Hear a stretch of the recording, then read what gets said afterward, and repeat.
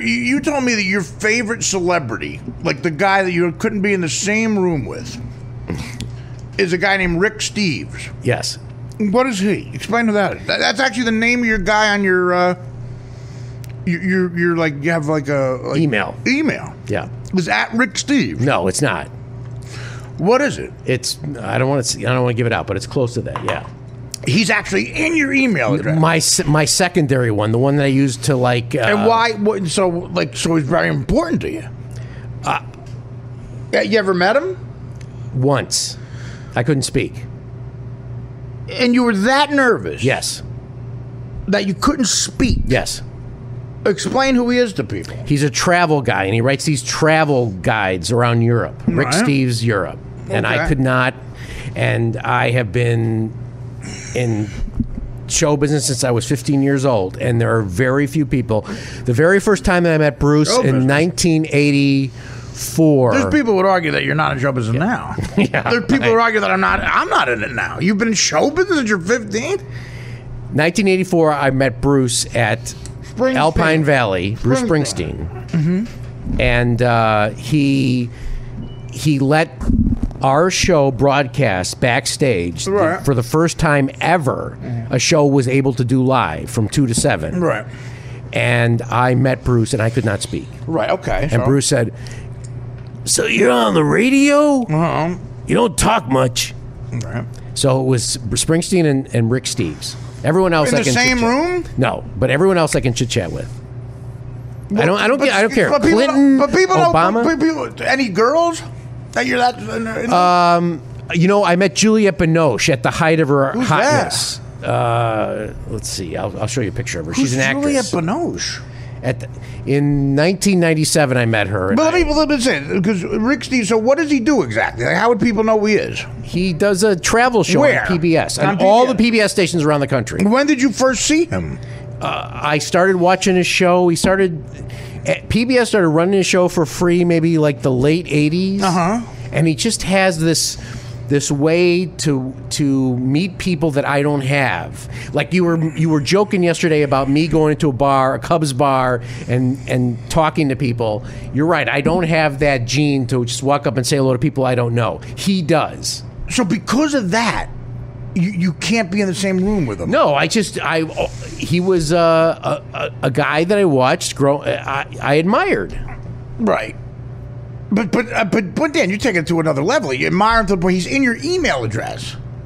And No, my you, fake beside one. the two, yeah, My but still, he's, he's in.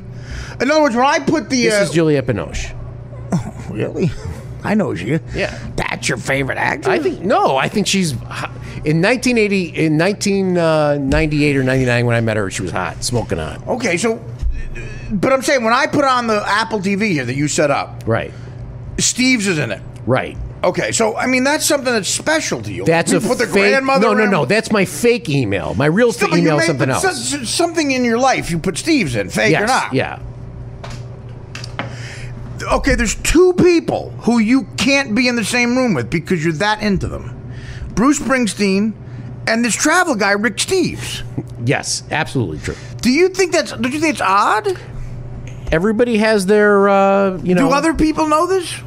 Uh, yes, sure, sure. Do they think it's? uh, Do they question you on it? Do they think it's weird? My wife thought it was weird. She she walked up to Rick Steves and started talking to him and said, "My husband's really uh, like, you know, Insanely, In awe of I mean, you? so in awe, really. I mean, to Right. the point where he's that much on your mind. you don't have somebody that you've watched since a kid." Uh, I, I, I, a I, Yankee? Bruce Springsteen, I get that way with. Sure, Right. you know, he's iconic. Uh, you know, because uh, people I've been fans of since I was a little kid, it was odd. You get uh, like, uh, of course, Howard Stern was in that league when, when I met him because he was iconic. He was, you know, uh, if I had ever let, met Thurman Munson, um, uh, in a weird way, yeah, all those Yankees because you know Mickey Rivers and all that stuff. You know, not huge guys, but to me, sure. But to, to to the point where I'm that nervous at a you know you know over 40 years old, over 50 years old, and like if he wa- if Steve walked in right now, how would you would you be able to function? boy, you know, I haven't. Uh, probably, I'd still be very nervous. I, I'd have to say that. I could. I'd, I'd have to be honest with you. I'd be and, very and he hosts a show on PBS. It's all he does. right for Rick Steves travel. travel. Yeah, and he's turned it into. and this- he's good at like interviewing Right, people. right. And because of that, and, and the fact that you don't have that gene, right. you're that in awe. Yes, absolutely. Man. When you first, when I first met you, I was able to talk to you, right? And I was a huge fan of yours. I was, a- I, I, w- I was. I know, but I, I, I'm But flattered by that. But of course, I yeah, but I, I don't. Uh, I, yeah, there's not many.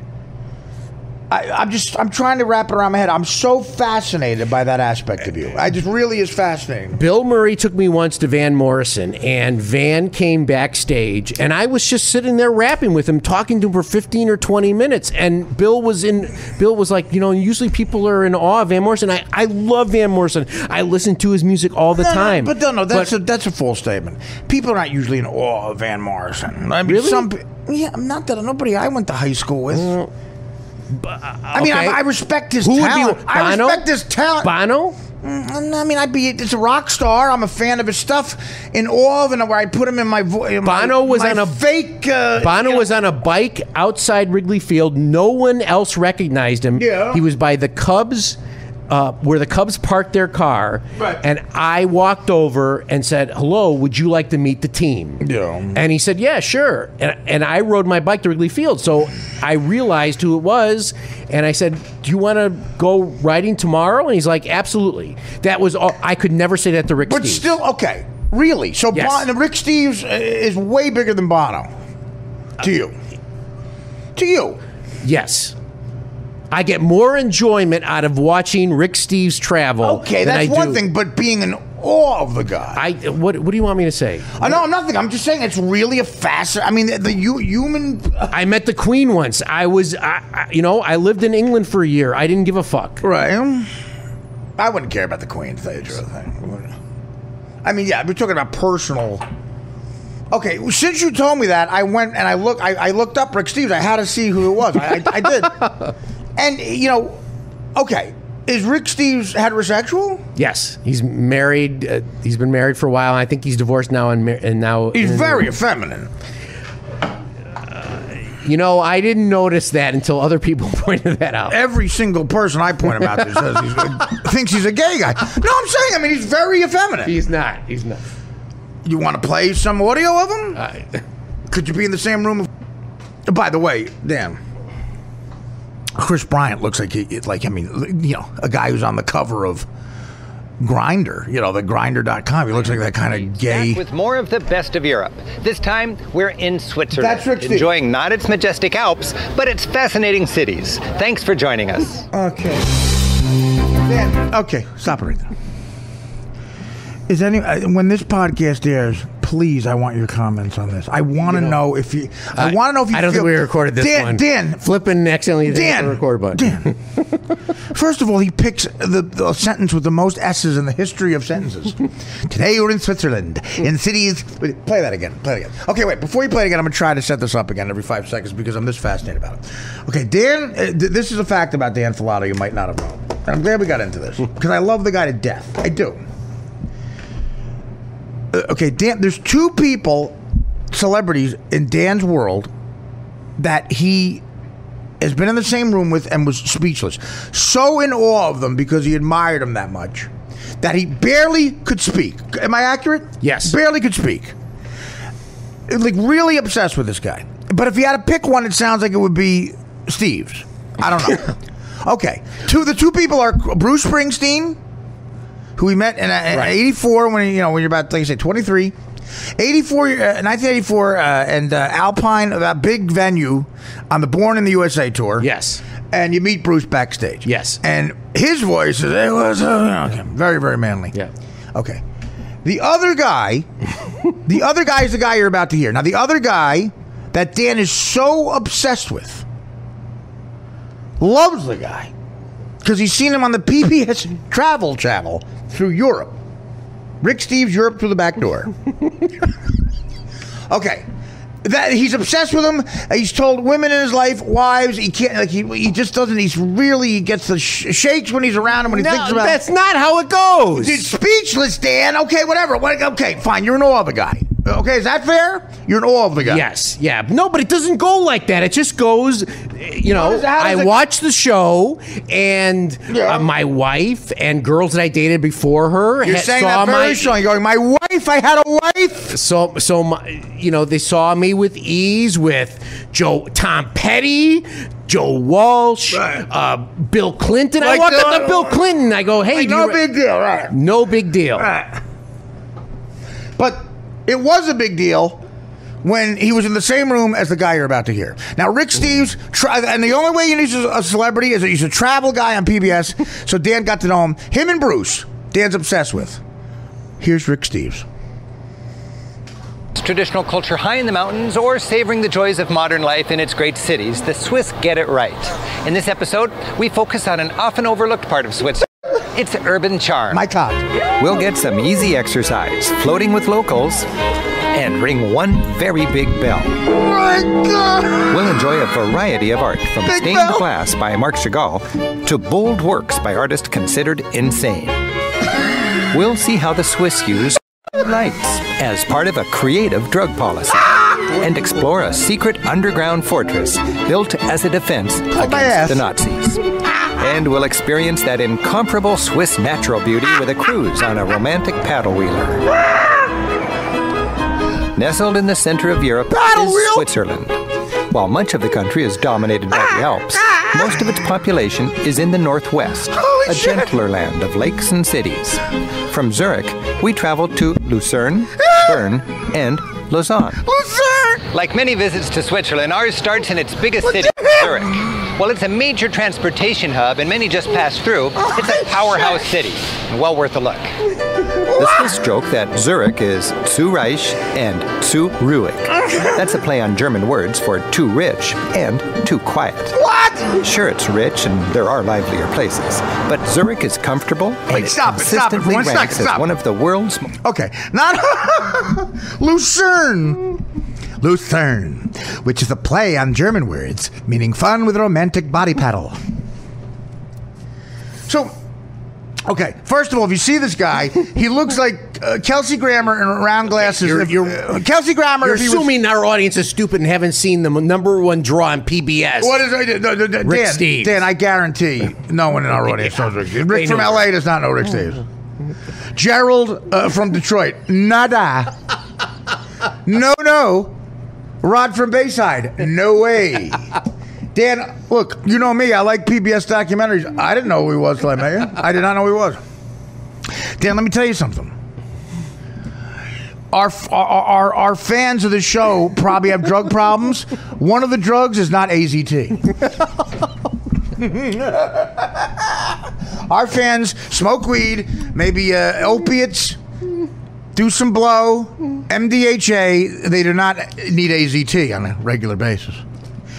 He looks like the guy. I'm trying to. The guy looks like uh, uh, Malcolm McDowell in uh, Clockwork Orange if he had his hair part to the side, round glasses, and had full blown AIDS, and was paler. That's what he looks like. Okay. He speaks like that. So Dan has the same feeling as that guy, as the guy who, as he's listening to Born to Run. that important. That and uh, Born to Run. It gave you the same feeling. Dad, please tell me you realize how odd this is. It, it makes you a dude. It makes you a cooler person. You know the guy on the beer commercial, most fascinating man in the world. This dude blows that away. This guy's got nothing like that. Nothing. He once he once went to see Rick Steves give a tour in Europe. The same day, he was in awe by Bruce Springsteen's voice. Then he went to Lucerne to use a romantic body paddle with Rick Steves. He is the most fascinating man in the world. Dan, that guy we just heard is in your fake email. He is an obsession to the point where you say uh, you were in his presence and you could barely speak. And you still to this day have that obsession. That Dan is. I wanted to meet more interesting people. I wanted to meet Okay, here's I met enough guys who, because they love Springsteen, also loved Bob Seger. I, I, I met enough of those guys. I wanted to meet the guys who love Bruce Springsteen and Rick Steves. Its old town is lively day and night, with cafes, galleries, and a colorful cobbled ambiance. Ah! Zurich's main drag, Bahnhofstrasse, ah! is famous for its elegant shops. Ah! If you're looking for a fancy watch, stunning jewelry, or a thousand dollar sweater, this is the place. A thousand dollar sweater. For more affordable extravagance, these delightful mini macaroons, a local favorite, may be expensive, but they won't break the bank. Bye bye. Bye, The city's art treasure is in its Fraumünster, Er, or treasure? Church of Our Lady. Dan. I, I, I you know, the only other human being in the room is Selma. and there are people in at the Knights of Columbus who question that. He doesn't. He doesn't do South America or Mexico. There are certainly things that we can say about Selma in South America. uh, there are wonderful things. Sweden, Switzerland, Lucerne. When we get to Lucerne, we'll go across the bay and discover the wonders of the body paddle as used by the Amsterdam Indians who first discovered it with Marco Polo. Here on tour, sent by, of course, the Dutch. Queen Elizabeth IV said to these people, Go to Lucerne. You know, this is the Build a hut. This is the traveling time now for Yeah. many people because the kids are in school. Traveling so times. It's it, there's a very The you know, kid- yeah, the kids are in school. It's very inexpensive. So his new series of books came out, and I was reading one last week. In the back door. My new book is Switzerland Through the Back Door. There's some amazing new uh, uh, exhibits at the Tate Modern. In Join London. me, join me as I widen the back door. Join me as, because of time going by and more visits Can't from Rick see- I- Steves, I, widen the back door. The back door was not as For, wide for, last time. for someone who is as open-minded as you, Open-minded. can't you understand Dan, I'm not that I have been around rock stars and baseball and football But you players were never around a closeted gay travel guide. My entire life. Dan, Dan, again, I'm not. You know what? I blame myself for not being a better broadcaster, for not being a better communicator. Hi, the wonders of Lucerne are next. Next, I explain why a man named Daniel Falato, why I touched him. Sure, he loves Bruce Springsteen. He loves when Bruce Springsteen makes his home runs. He loved. He lived with Mark Grace, who seemed to be a bit of Neanderthal when he called my assistant, and said some gorilla is on the phone saying, "Oh, Dan Falato wants to meet you." I said, "We've gone through these prank calls before, you bastard."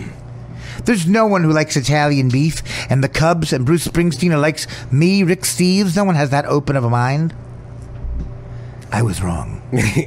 there is someone. Mark tried to call Bruce Springsteen, but he thought it might not be the best thing in the world since he was the first person to date Bruce's ex-wife after the marriage broke up. And more and more deflecting facts come out of Dan's mouth as he desperately tries to get us off the subject of him loving Rick Steves. He blurts out facts that may or may not be right just to get the attention off of him. Bruce dated his a waitress. You, you, you, your voice kind of sounds like him on where you, you go like a. Listen, uh, here's, my, a- here's you meeting him. You ready? There's another guy that I admire that much, but I he died, died right before I could I could uh, and it's apropos of today. So What are you talking about there? there's a guy that uh, Star Wars is based on. Joseph Campbell wrote The Power of Myth. Obi Wan Kenobi. And he Boy, was it was this- hard to crowbar that out of you. He was this amazing. he was this amazing uh, professor at the University of Hawaii, Uh. and we and when we went, we would go What? to Hawaii every year and do the show for two weeks. Steve Hawaii. and Garry Meier, Yes. and right the very first person I had a couple of days off, and I wanted to meet Joseph Campbell, and he died Joseph. right before I got to meet him. So you there's think you, you think it was suicide? no. What does my day look like today? The number one series on PBS of all time is Joseph Campbell, The Power of Myth. Mm. what, is that, what does he sound like? He talks about like uh, you would love him. You would love the power of myth. The power of myth. Yes, He did the he did the series with Bill Moyers. Bill Moyers. Bill Moyers and I go through the flesh paddle. the flesh paddle that I first discovered with the Indians of Amsterdam.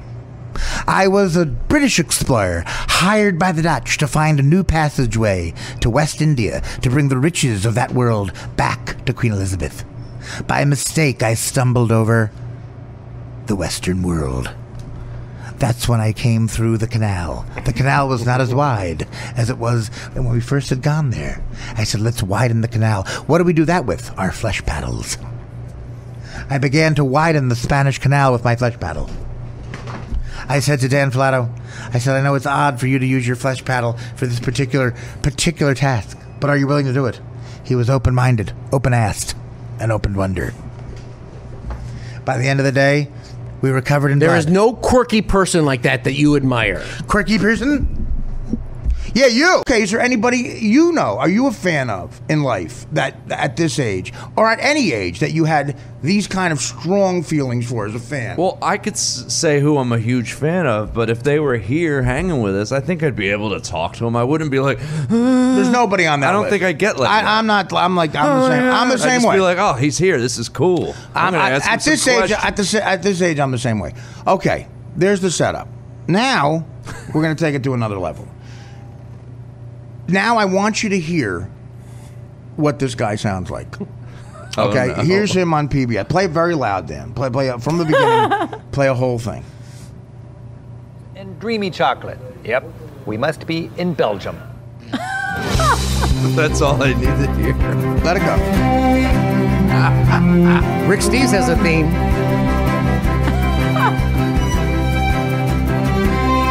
Does he talk, Dan? What, what, This is the theme. We don't have the rights to it, though. Paul Anka write this? It's coming. When does he talk, Dan? this is the opening theme. You could have fast forwarded. What are we seeing when we when you Well, I hear? admire guys who have themes. What do you see when you hear? Belgium is one of Europe's great secrets. 500 years ago, a trade boom left it with dazzling art and architecture. And today it's reemerging as a trade capital of Europe. For travelers, it's a breeze. Everything's close together, well organized, there's almost no language barrier, and the people, they're wonderful. Enjoying the highlights of Belgium, we start in Bruges. Renoir canals, fanciful gilded architecture, serene Flemish masterpieces, and, according to locals, Could he the pick best words with more beer in the world. Where else can you bike along a canal, savor heavenly chocolate, and see a Michelangelo, all within earshot of a bell tower with a hyperactive carillon? Then we head for Brussels, home Brussels. of Europe's most They head for magnificent Brussels. medieval square and capital of the European Union. Hmm. Almost lost between Germany and France in the middle of Europe, tiny Belgium is easy to overlook. But we'll see why it's worth discovering.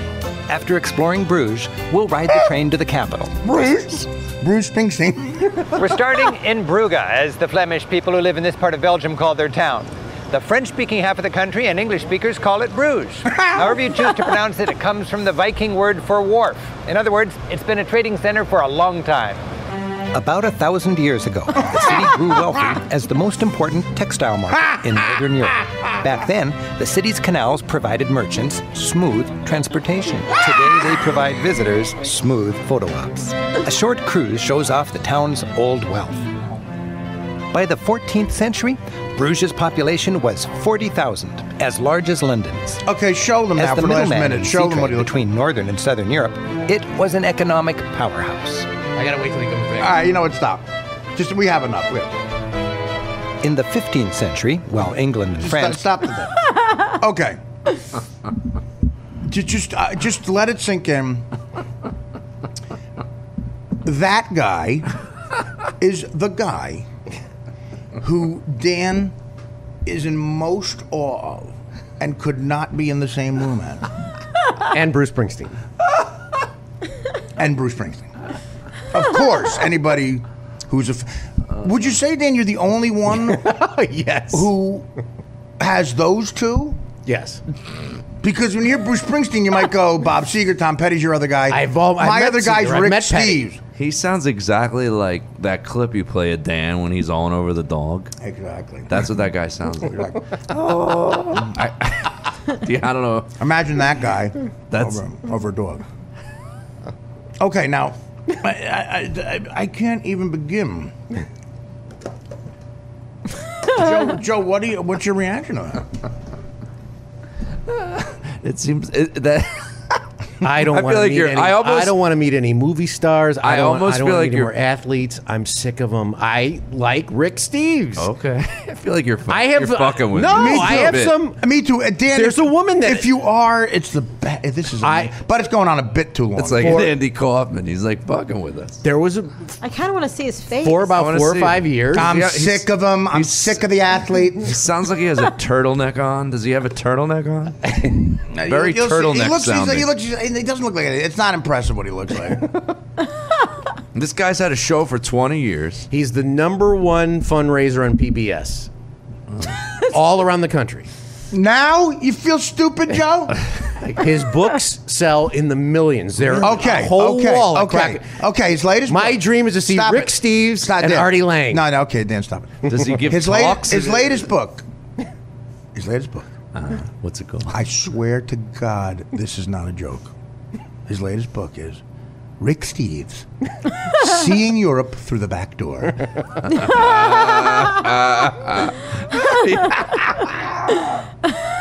Rick Steves, His back door. Seeing Europe Through the Back Door.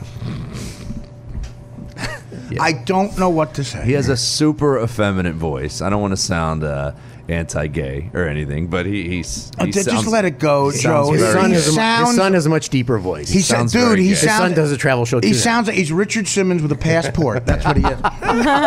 exactly. He- the- he- uh, a feminine voice. I've dated chicks who sound more manly. Dana, my girlfriend Dana was like Andrew Dice Clay compared to this guy. Then we're going to Brussels, and then Bruges, and then when we get to Brussels, we find out there's a new way to get to Lucerne. And if that's not exciting enough, we go on a little trip on a gondola. We go through the ass of a gondola rider. Is he gay? no, He's got married. Married. I think he's got Married a guy. new girlfriend. so is Liberace. yeah. Yeah. No. Dan, Couple you of don't think kids. you don't think it's possible he might be gay? I Do you like Anthony Bourdain? no. you, uh, you hate I, him. I compared to like him guy. That guy is personally. such a misogynist. I like him personally. I just don't like him How do you know him personally? because he's. I've you don't know. watched. He meets all I've, travel guys. We've Oh, had yeah, him- you don't know him, though. Okay, yeah, I know him really well. Actually, I do know him really Oh, well. Anthony Bourdain. Anthony Bourdain. Okay, well, dude, what- okay, And- fine. So you chose. I don't know him. Don't get mad at me. You never told me that. So how do you you know? like- how do you know Anthony Bourdain? Because when his book came out, we had him on the Steve Dahl show. so I know Jon Bon Jovi then, Dan, because he was on Stern. You don't know Anthony. Bon- I do. We've uh, we've gone of out to dinner. Sick of the bullshit. Really? What restaurant did he pick? Uh, Moto in Chicago. Call him. Got his number? I don't have his number anymore. Uh, uh, you know him really well. I know him. No, you don't. you know me really well, Dan. You don't know him really. Whenever he came into Chicago, he would call and say, "Hey, do you want me to come on the show? Or do you want to go out to dinner?" Yeah, because he's trying to plug something. Right. But when he w- w- when we didn't have the show, if we were on vacation or something like that, look, huge fire over there. We got to get this guy on the podcast. There's pretty no huge way. fire across the river. Oh no, it's not. Don't worry about it. There's some fucking smoke coming out of a Manhattan building. Um, That's the gay smoke. I bet you could get him on the show. That's that's the level of this guy. Dan, if we I could get did- him on right if I, now. if I didn't know you, everything would point to this being, you know, gay. You being gay. Well, there's no chance of that happening. I know. Well, I mean, again, it's just What it's- do you? Do you have posters of him in your room? No, Dan, I don't. you Have, I have can't his get- books. I have all his You books. can't get mad at me for being fascinated. No, but I just can't. everybody's fascinated. I don't understand how you, someone who's talented and artistic, you can't appreciate, even though it's a, a travel series. He has something. Dan, uh, the other thing you is, don't- the other thing is, he's a hack. Even in the travel world, he's fucking. Even in that world, he's not good at what he does.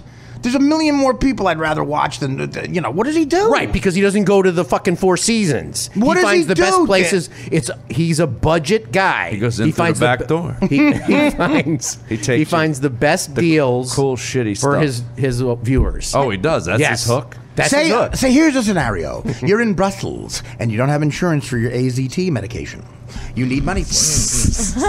Just a scenario I'm throwing out. You know, this could be. uh, it could be anything. It could be aspirin. With, in this, Apparently, in this scenario, apparently you didn't need to see the Saturday Night Live couple of sketches on him. no, Did I they really? didn't. Yeah, they did. No, as a matter of fact, I didn't. Did uh, does this Who guy plays go, him? Does this guy go to Who Amer- plays him? Kate McKinnon? Does he go to Amer- Does he go to American places, cities? He just has recently, but he's mostly Europe. Europe and uh, he's gone to China and South America a couple times. Just say you're in Kentucky and you can't get a marriage license for whatever reason. Uh, and I, I don't know what the scenario would be. For some reason, they don't want you to get a marriage license. I'm going to Atlanta tomorrow. I thought maybe you could give I, me I some know. tips. I, I, I plugged it for you. Any last couple tips? Days. Oh, you probably shit on me nonstop. No. Say this was too dominant of a conversation. Say you're in Europe.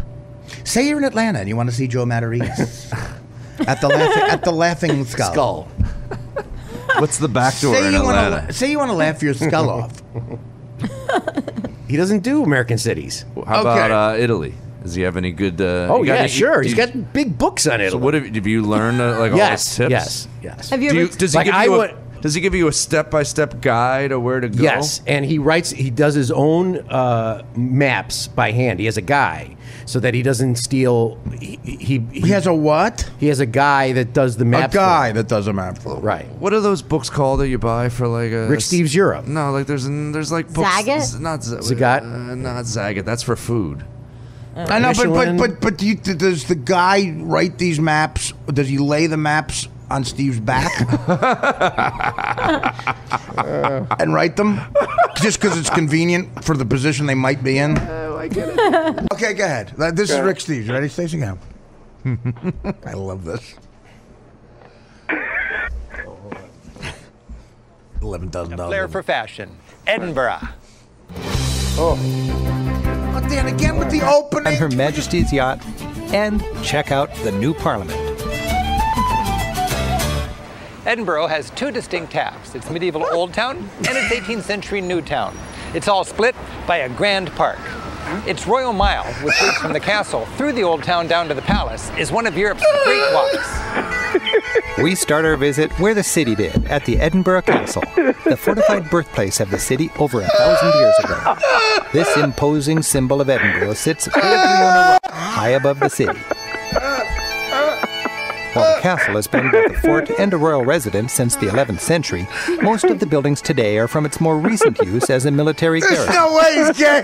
He sounds like Mr. Rogers. Crowds a little bit. gather as Exactly. traditionally, each day at 1 o'clock, the big gun is fired. Ah, Something to set their clocks by. Why 1 o'clock and not noon? It costs the frugal Scots 11 fewer rounds. The big gun is fired. Your admission uh. comes with a fine guided tour. Welcome to the castle, ladies and gentlemen. It takes roughly about All right, 20, Sal, I could go to minutes. Joseph Campbell now. big gun is fired. He has an odd voice. Yeah, no kidding. He sounds a little bit like Re- Ro- like Mr. Now, as, Rogers. as a woman, a woman have gaydar. Is, do you think there's any way? Is it surprising you that some people might think he's gay? No, he sounds neutered. I don't know. He sounds like he's a leprechaun or something.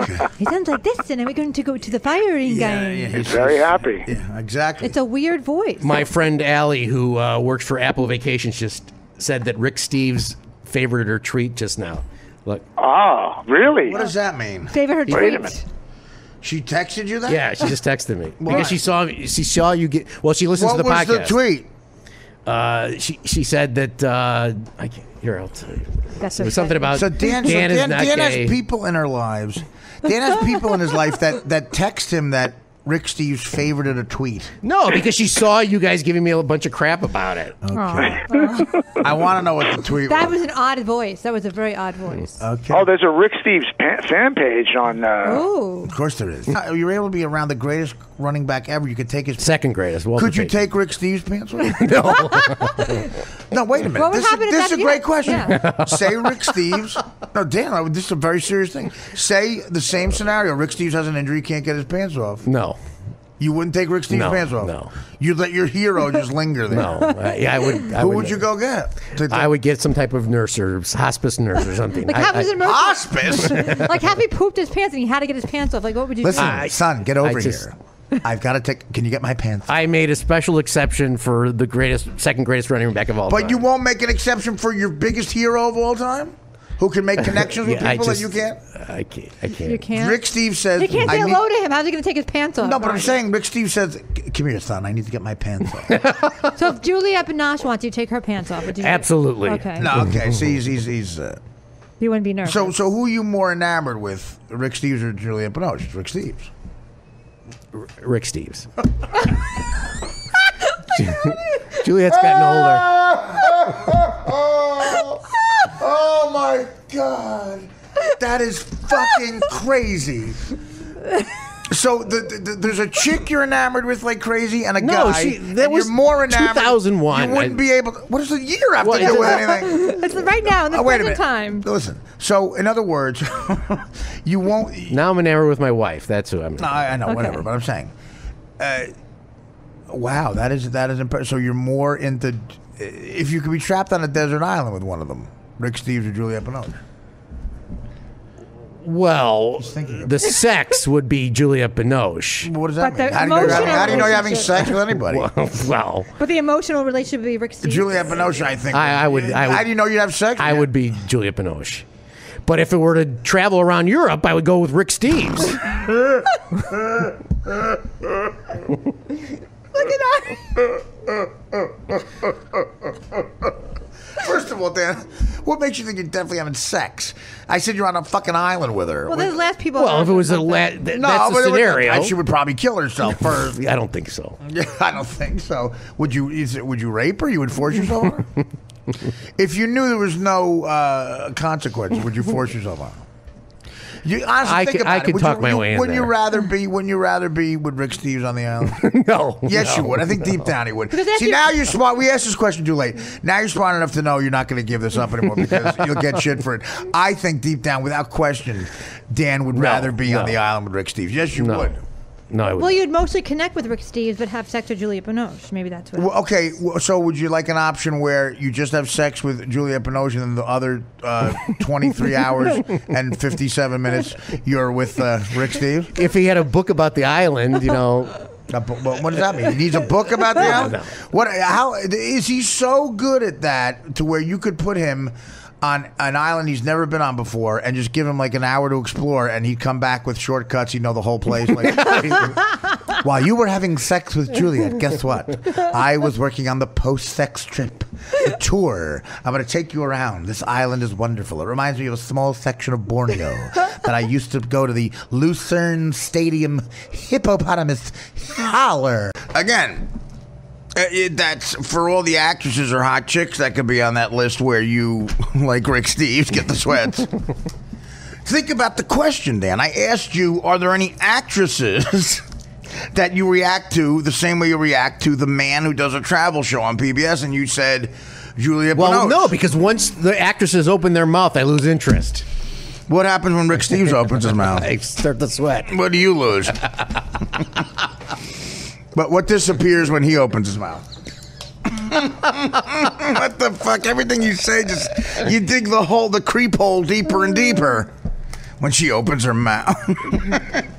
Rick's, I open my mouth, and guess what? Nothing but wonders come out, and nothing but wonders go in.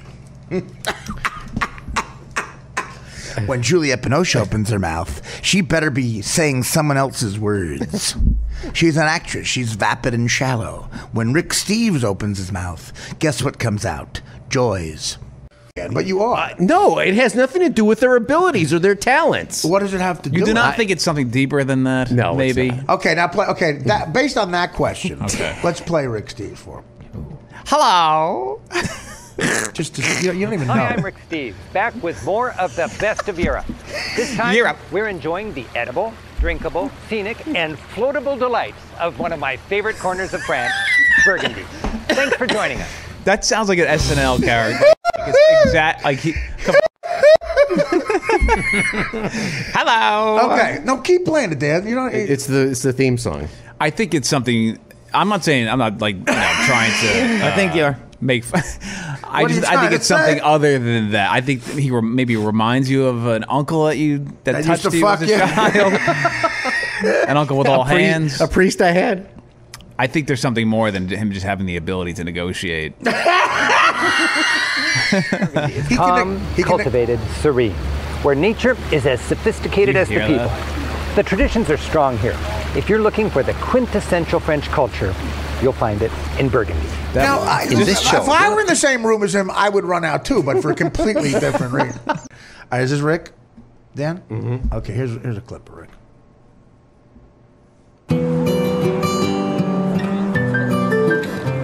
Every neighborhood has a time honored gathering place. Petanque, also known as Boule, offers the perfect escape for friends. This competitive yet convivial game where friends toss metal balls with the same precision their fathers did provides the ideal antidote to the pressures of modern life. He said metal balls get like he accentuated the gayness of that. I stop for a second. Ah, Riviera, on the banks of the Okay, Mike, what is your? Is there any chance Rick is not gay? Um, I would say he's definitely had a hundred times more gay sex than I have. and he, Well, sa- he sounds he is very- well-traveled. I mean, he sounds very conservative and proper. Right, he is definitely, yeah. But I, I would say he's taking it in the ass. Okay. Does that sound like a voice that has come out or not come out though? Oh, that's a come out. Well, he hasn't He's- come out though. That- well, that's a He's voice. not but he hasn't. No, he's That's not. a- no, you that- know, he's no. very much married and Oh, very. He's got kids. That sounds like a voice full of commas. Uh, Sounds like I, I, listen, I, you're saying it, not me. Of course, I am saying it.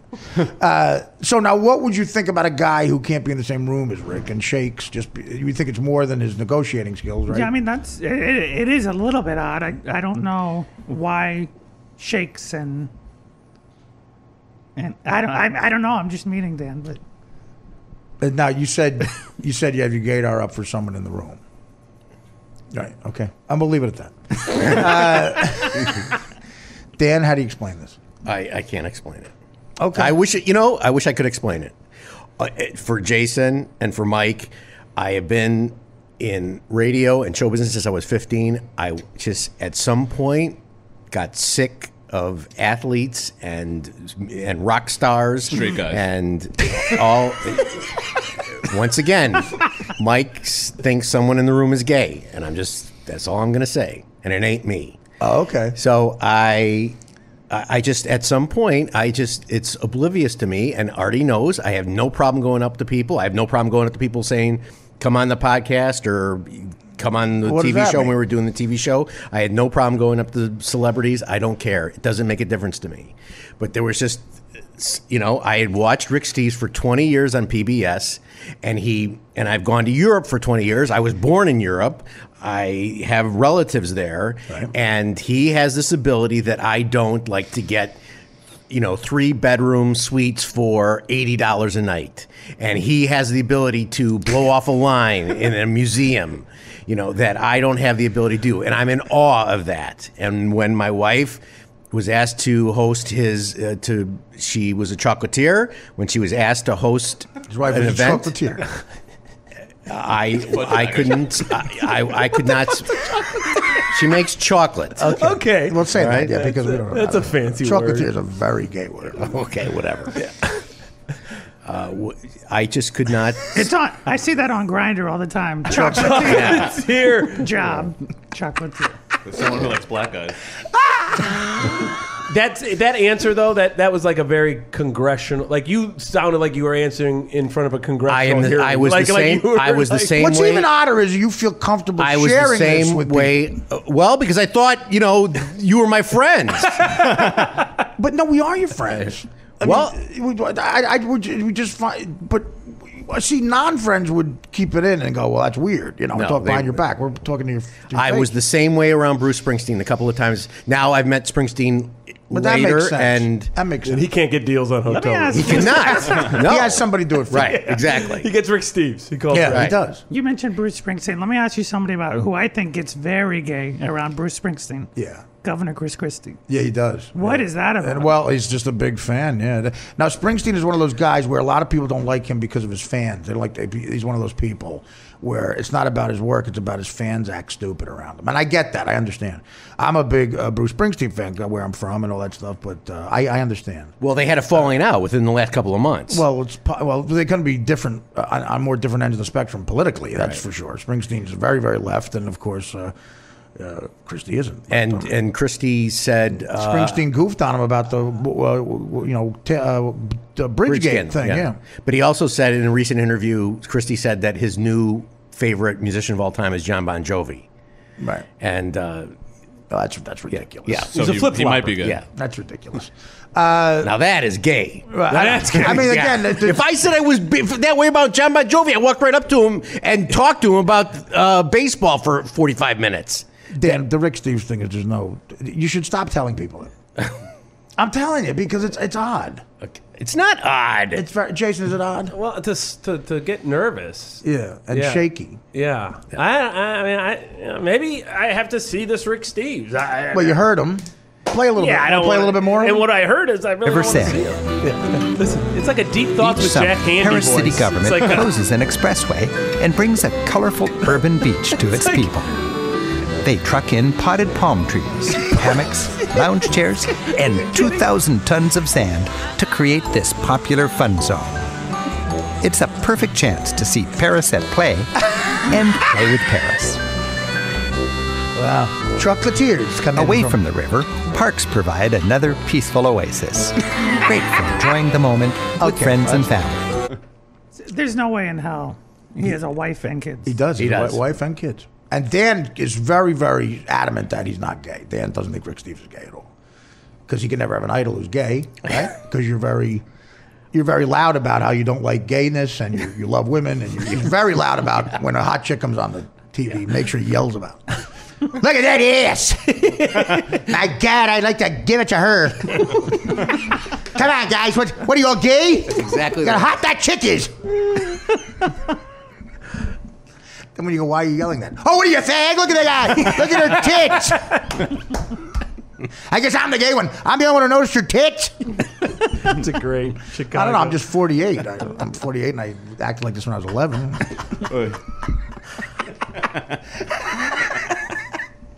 Come on.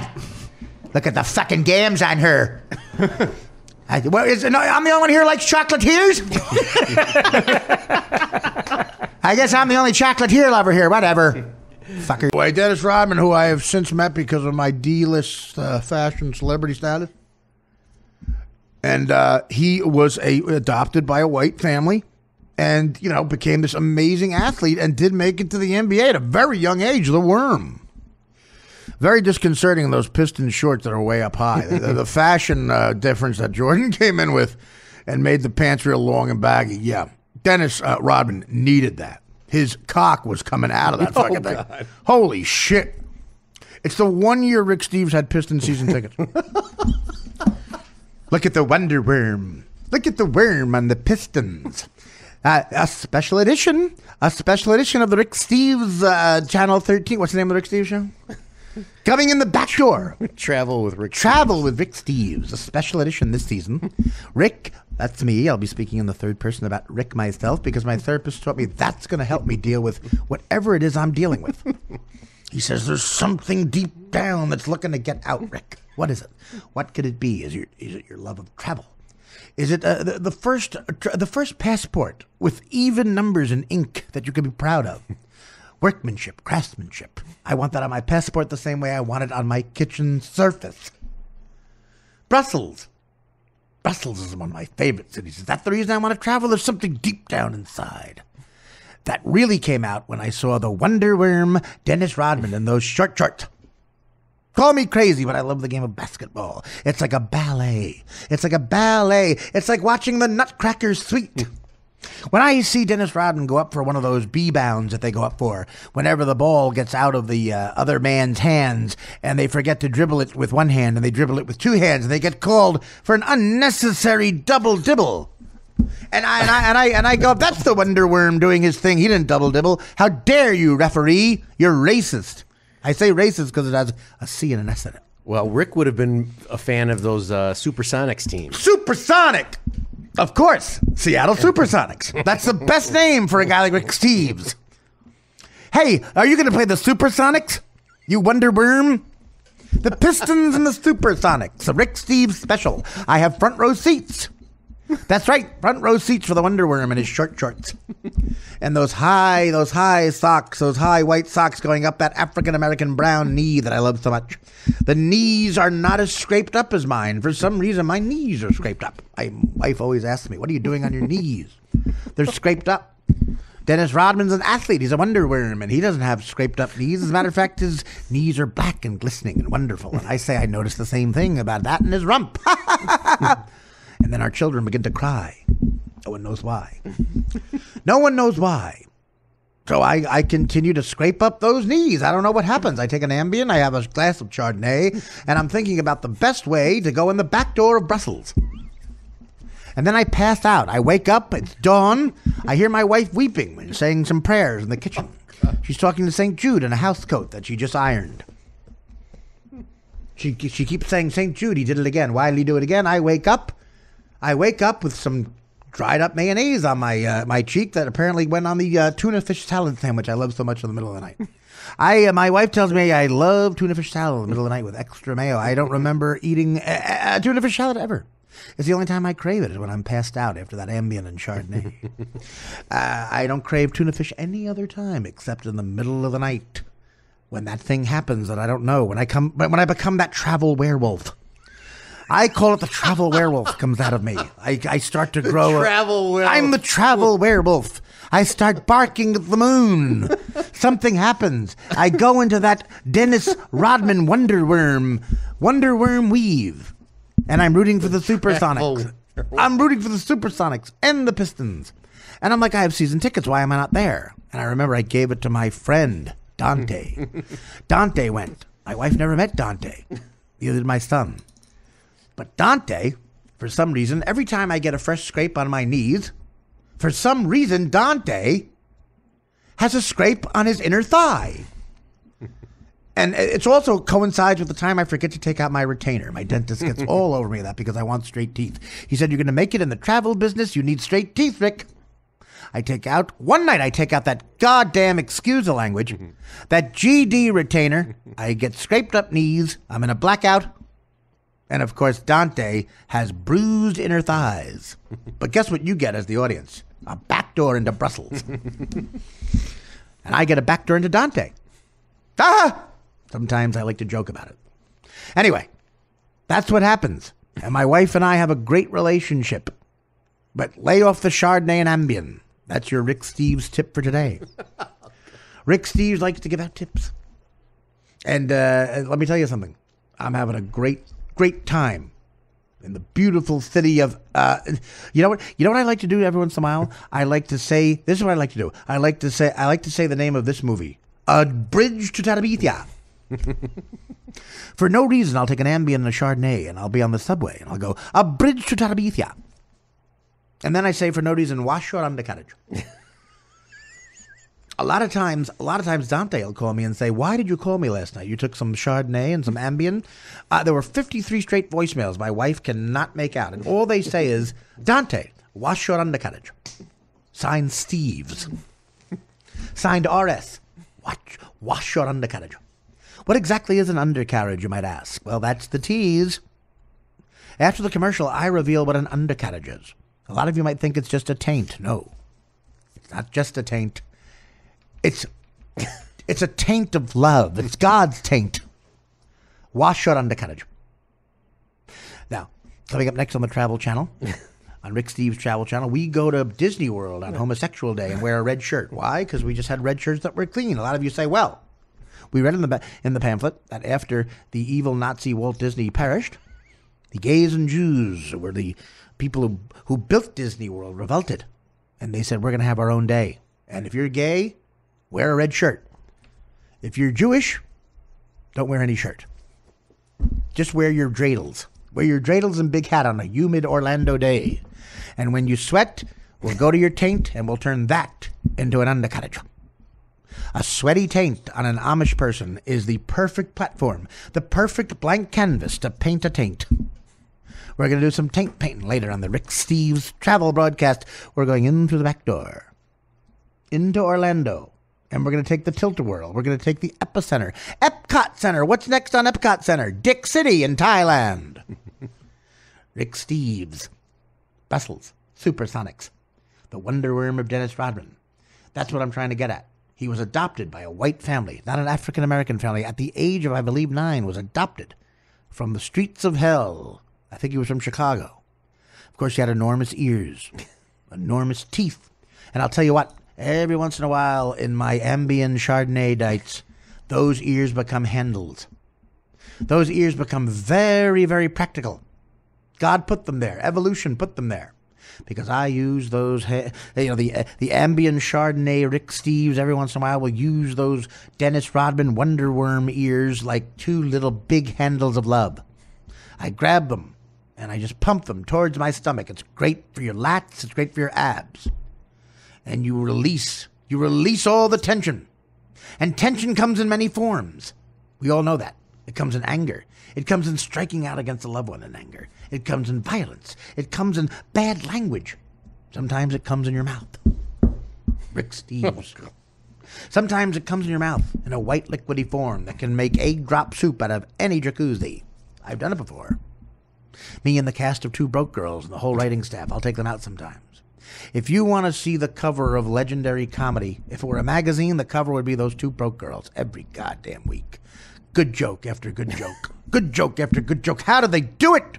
People say Rick Steves. How do they keep making Two Broke Girls funny week after week after week? Is it Whitney Cummings? Does she run that room? Does she go in there with her little notepad on the iPad and say, listen, I have $200 million off the syndication already. The comedy gods are a brewing. They want a new season. Rick, what's the seventh season going to be like? Will it be as good as seasons one through six? Is that possible to keep up that good work? Is it possible to keep up the wit and banter that must go on in the two broke girls' writing room? Oh my it must be like the old Your Show of Shows, the original Saturday Night Live, those SCTV shows with Rick Moranis and John Candy throwing out wonderful ideas. Wonderful ideas. Is that what the Two Broke Girls writing room is? Of course it is. It's that exciting. It's that witty. It's that wonderful. And we're going to break into that Two Broke Girls wonder room. I'm working on Two Broke Girls, One Cup. Of course. a takeoff of a wonderful YouTube video I saw. My gracious. Uh, if you guys know Rick Steves, well, you know I don't like the brown. That's what we call it. I don't like the brown. I don't go brown. I don't go downtown brown. I have friends who do, though. I have friends who say, hey, Rick Steves, do you want to go downtown brown tonight on us? And I go, no, I'm not downtown brown. Then I see them go downtown brown. And I'm like, my gracious. He would have been growing up when Jack Sikma was big. Jack Sikma got to do it. What's it? What's the deal with Jack Sikma? Big white center. Why do you bring that up? Well, he was on that Supersonics team. What's the reference though? Why Jack Rick Sons from Seattle. Yeah, I know, but why Jack Sikma when I was talking about the Brown? You know what the Brown is, right? Why'd you bring up Jack Sikma? Just because he was on the Supersonics? Well, you said that Rick wouldn't like Rick wouldn't like what? the Brown. The Brown? What do you mean the Brown? No. Well, no, you don't. You don't know what Brown is. Uh, brown is shit. Oh. Brown is taking a dump right in your mouth. Oh God. That's what downtown. But did I have to point that out for you? How grotesque are you? How racist are you? You thought I meant black people? yes. No, I mean shit. Is that your way of pointing out that black people and shit are the same color? oh no. My grandfather used to have an argument about racism. He would shut up a lot of black people who would come over the house. They'd have an argument about race, black and white, literally about the colors black and white. And after a few uh, flaming shots of Zambuca, my grandfather would say to the African American friend of his, he'd go, okay, I'll sum it up like this. This ends the argument. What color is come? What color is shit? And then they'd shut up. Of course, I don't agree with that. It is an excellent point, though, when you think about it. One is equated with the greatest feeling a human being can have a wonderful feeling you can trust. There's no bad male orgasm ever. It's all, as Woody Allen says in Manhattan, right on the money. Women say they have wrong orgasms, bad orgasms. They're not trustworthy. Remind you of any group of people? and they're equated with a disgusting act that somehow God let us do to remind us every once in a while He's in charge. And every once in a while He goes, Yeah, the white stuff will come out of your cock and you'll feel like Superman for two seconds. And you realize you're looking at the guy on your couch in Rick Steves' land. Oh, Rick Steves' Wonder Worm. He'll say, "Listen, how can you? How can the white stuff come out when you're looking at somebody brown? It's a paradox." When I look at Dennis Rodman, in those early videos, and I have every one of them, I have every one of them downloaded, if you will. I'm a downloader. I'm a brown loader. I'm a downtown brown loader. I I actually thought you were talking about downtown Freddie Brown. Downtown Freddie Brown. How about downtown Freddie Brown's Brown? How about downtown Freddie Brown downtown Brown? Yes, Freddie Brown made a lot of us shit our pants if we were bet uh, on the the money line on Georgetown that year, didn't we? When he threw a pass directly to another Brown, coached by a Brown, an enormous dark brown. Yes, This podcast will have us both working construction. Tuesday. We're not pointing out anything about anybody's uh, intellect or race or opinions or anything like that. There's no extra bone in the ankle. I'm not Jimmy the Greek. I'm talking from a real place. I'm talking about color. I'm talking about wonder. I'm talking about nuance. I'm pointing out that the brown color is much sexier, much sexier, and they have a they have that on us. And by they, I mean the Browns. The Cleveland Browns. What about the downtown Cleveland Browns? Jim Brown. What about Jim Brown? Jim Brown downtown Tina Brown Brown Brown. How about eating at the ground round baby ground brown? How about ground brown baby ground brown like a record baby ground brown brown brown? I eat at the downtown Julie Brown Brown at the record baby downtown Freddie Brown. I eat at the Jurdavian clown clown clowny clown clown. Oh oh. oh. I'm sorry. Did the modulation get too high? yes. Maybe they complain about that too, don't they? Oh, he's eating a lot. And he's yelling for no reason. Oh, really? I'm showing emotion on the radio, you cocklick? Maybe I'll do a show like Ryan Seacrest. How about that? You know, he's seen some brown. Every once in a while on Ryan Seacrest's show, that's also, he's got a radio show that has a video component. That's the name he uses, component. Yes, I have a video component. I saw him and Seth Meyers talking about his video component one day. Swear to Christ, couldn't tell the difference between either one of them. I was across the room and I was smoking some hashish. I got it up in Montreal. Long story. I won't get into it now. I won't get into it now, but me and some of the guys from Girl and Guy Code got together, and guess what? It was a party. Those Girl and Guy Code people can really riff for a while. My God, they're funny for a good 32 seconds. and then one of them accidentally hits their head on a pipe that was coming out of my ceiling. and when they hit their head on the pipe accidentally, a young Asian girl with three minutes of comedy hits her head on a pipe. My God, you laugh and laugh and laugh. And when you realize it's actually a serious injury, you laugh more. And when you realize it's infected and she may never do comedy again, you realize did she ever really start? And then you say, my God, how can I make fun of the cast of Girl and Guy Code? They have some unbelievable millennial observations about dating and sex high energy guys that aren't threatening. They would never say something disgustingly rude. They would say something sexual because that's allowed in this dumb generation's vortex of disgustingness, vortex of boredom. There's a lot of depression without genius going on, and that's pathetic. Can you imagine the level of a brain that watches Girl Code? if Tom Freston of MTV ever really watched his channel, he would never stop throwing up. you know who never stops throwing up either is Rick Steves. And when he throws up, it is a waterfall of white. He's got white coming out the waterfall. He's got brown coming out the other waterfall. And every once in a while, a red color appears in both. and that means the Wonder Worm Dennis Rodman scraped his cock on the dresser before he could get the hard piece of wonder into the mouth of whoever he, he was fucking on the Travel Channel that week. A lot of people on the Travel Channel have a lot of interesting cocks that they put in the mouths of other people on the Travel Channel. I'm not going to get into it. I'm not going to get into it, but the girl and guy code kids get involved, and guess what? Those kids are going to have development deals soon, and they're going to bring the. Ne- you say where you you look to comedy and you go, where's the next two broke girls going to come from? Where's the next Johnny Galecki coming from? Where's the next How I Met Your Mother creator coming from? This generation's Clint Eastwood is Neil Patrick Harris, ladies and gentlemen, and we wonder why we're losing ISIS. maybe we could have a gluten muffin every once in a while. So, but maybe put the gluten in the muffin. Maybe we beat Hitler because MacArthur ate gluten. maybe maybe we beat them in D-Day because General Patton did guess what? He ate gluten. Have some gluten, rootin' tootin' pootin', and show your downtown Josh Brown to a guy like Patton. Yeah, Patton. We need more guys like that. That's a military guy. Patton MacArthur, the kind of guy that could take a shit right in front of you and tell you what your orders are. That's right. Get over here, motherfucker. Hey, private, private shithead. You're on the you're on the Wonder Worm team. You're gonna storm the you're gonna storm Normandy.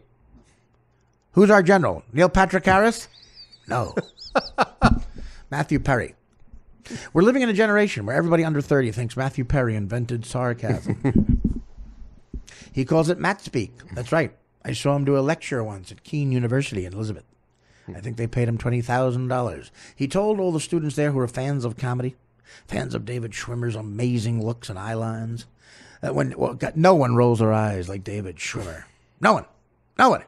You throw a close up to David Schwimmer, and guess what? You, it's like kicking it out to Ray Allen with three seconds left. Good for three. Schwimmer, we need an eye roll on camera two. So ish.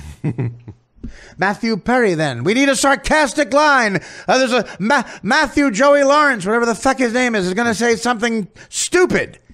Stupid. Matt Lawrence, we need a sarcastic line. And guess what? Matthew Perry's right there and goes, Uh, you meant what? Notice how his voice goes up at the end, dictating sarcasm. Uh, you studied where? Switch. Swish. The combination every once in a while is kind of like the 1996 Yankees, the way Joe Torre's spelling. That's what we called him. he would use that team like a wonder worm of love. He would go out there. If the Yankees had a one run lead after the sixth inning, guess what? They won the game. Mariano Rivera came in for the seventh and eighth, shut them down, and then Wetteland came in, bam, boom, back.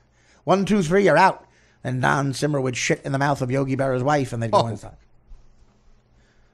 Then Don Zimmer would take. whoever I'm sorry, Ju- Popeye. Don Zimmer would uh, sh- would uh, shit in the mouth of anybody that uh, of the mother of whoever Derek Jeter was dating, and then he'd take her out to Applebee's while Jeter fucked three other women, and then he'd slowly bring her back to Jeter's apartment at 5 a.m.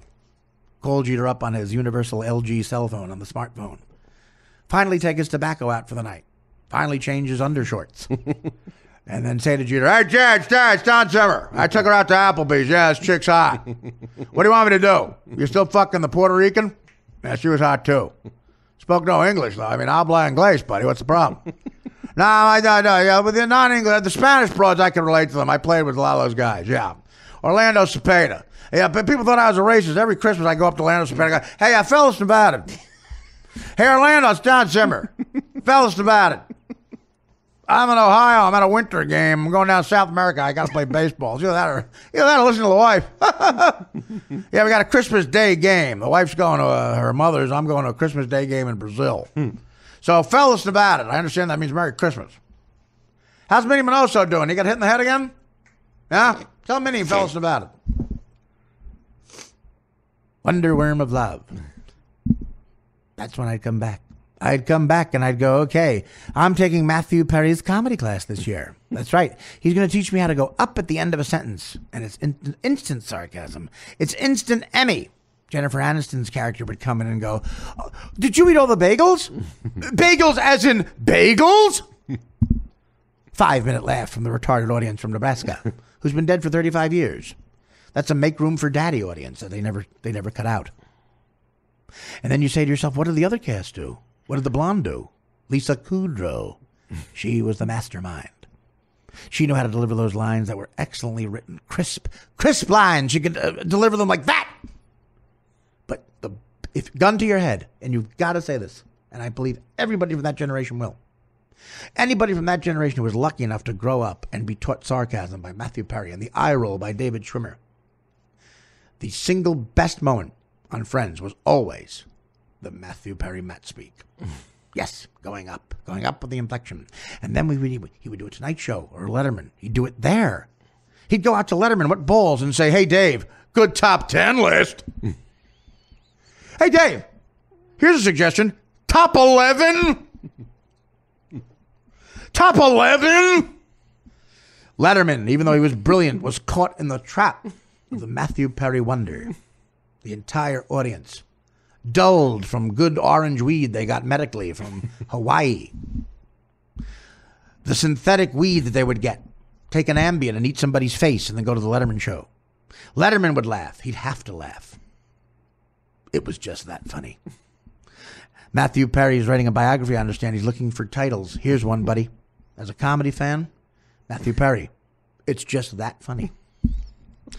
I d- uh, and how about this, Matthew Perry? I dare you not to laugh. A must, a must stocking stuffer for any comic worth his nutsack. Any comic who's on YouTube now and thinks they're wonderful under the age of 23. Here's a must, must get the audiobook for Matthew Perry's biography, Matthew Perry. I dare you not to laugh because he reads it.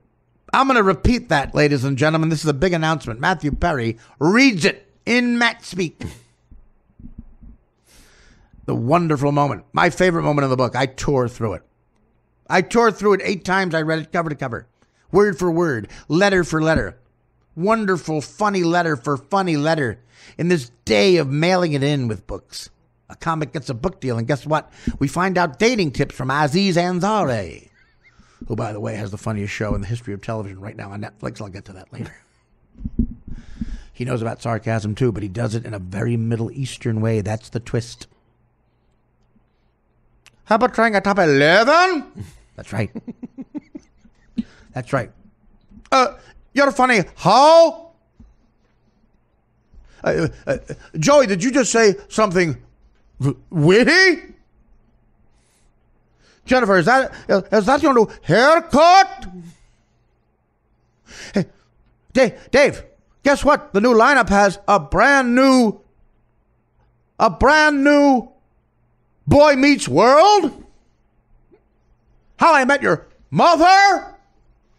It's sweeping the nation. And guess what? Matthew Perry gets paid for every one of those shows.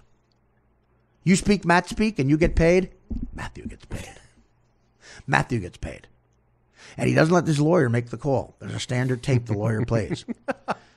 If uh, if Aziz Ansari or somebody else, one of the other these millennials taking over the world right now, if the if the hip writing staff for two broke girls dares to speak Matt speak, they will get this audio cassette sent by his lawyer.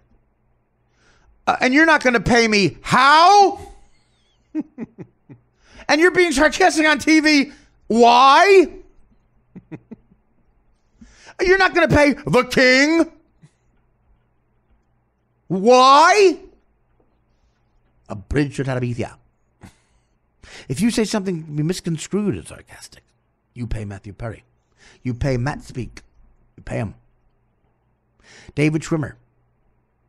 The original title of his book was going to be Matthew Perry, What Happened to David Schwimmer? Personally, that's a question I'd like to know too as a big fan of Friends. What did happen to David Schwimmer? Kid's got a great head of hair. Nobody pouts like David Schwimmer. Nobody. A wonderful pouty voice. And you're going to make fun of David Schwimmer. Guess what? Why not make fun of the fucking ass he got for 20 years? More ass than a goddamn toilet seat. Got, got more pussy than a green eyed, you know what. Moon cricket.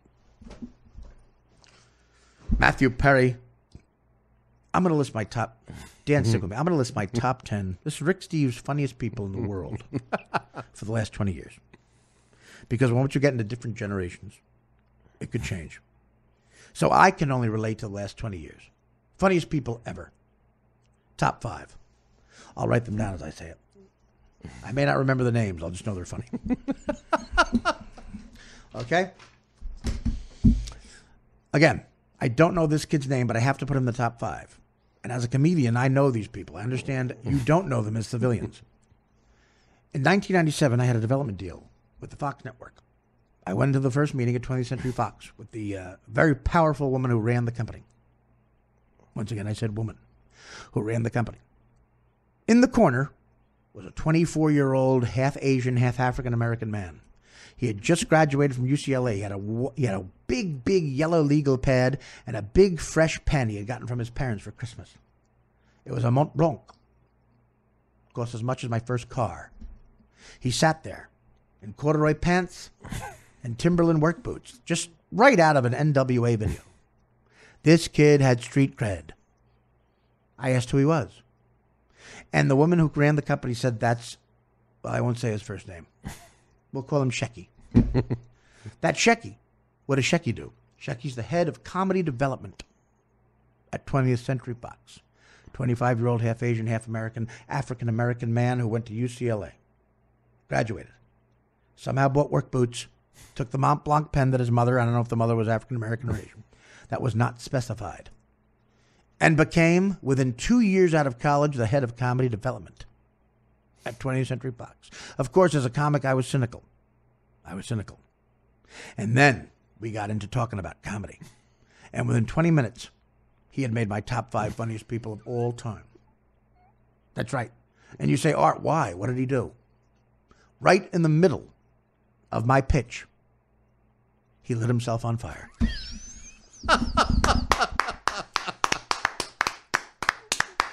You know, you almost told that like Paul Harvey. One Yeah. of the rest of the story. Paul Harvey.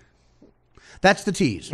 right in the middle of the pitch. The head of the comedy development department at 20th Century Fox in 1997. Half Asian, half African American. I don't know if his mother was Asian or his father was Asian.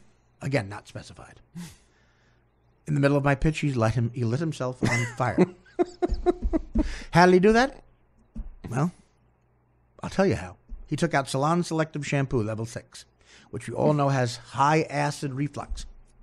You can't take it on a plane. It's easy to hide anything in there. It's very flammable.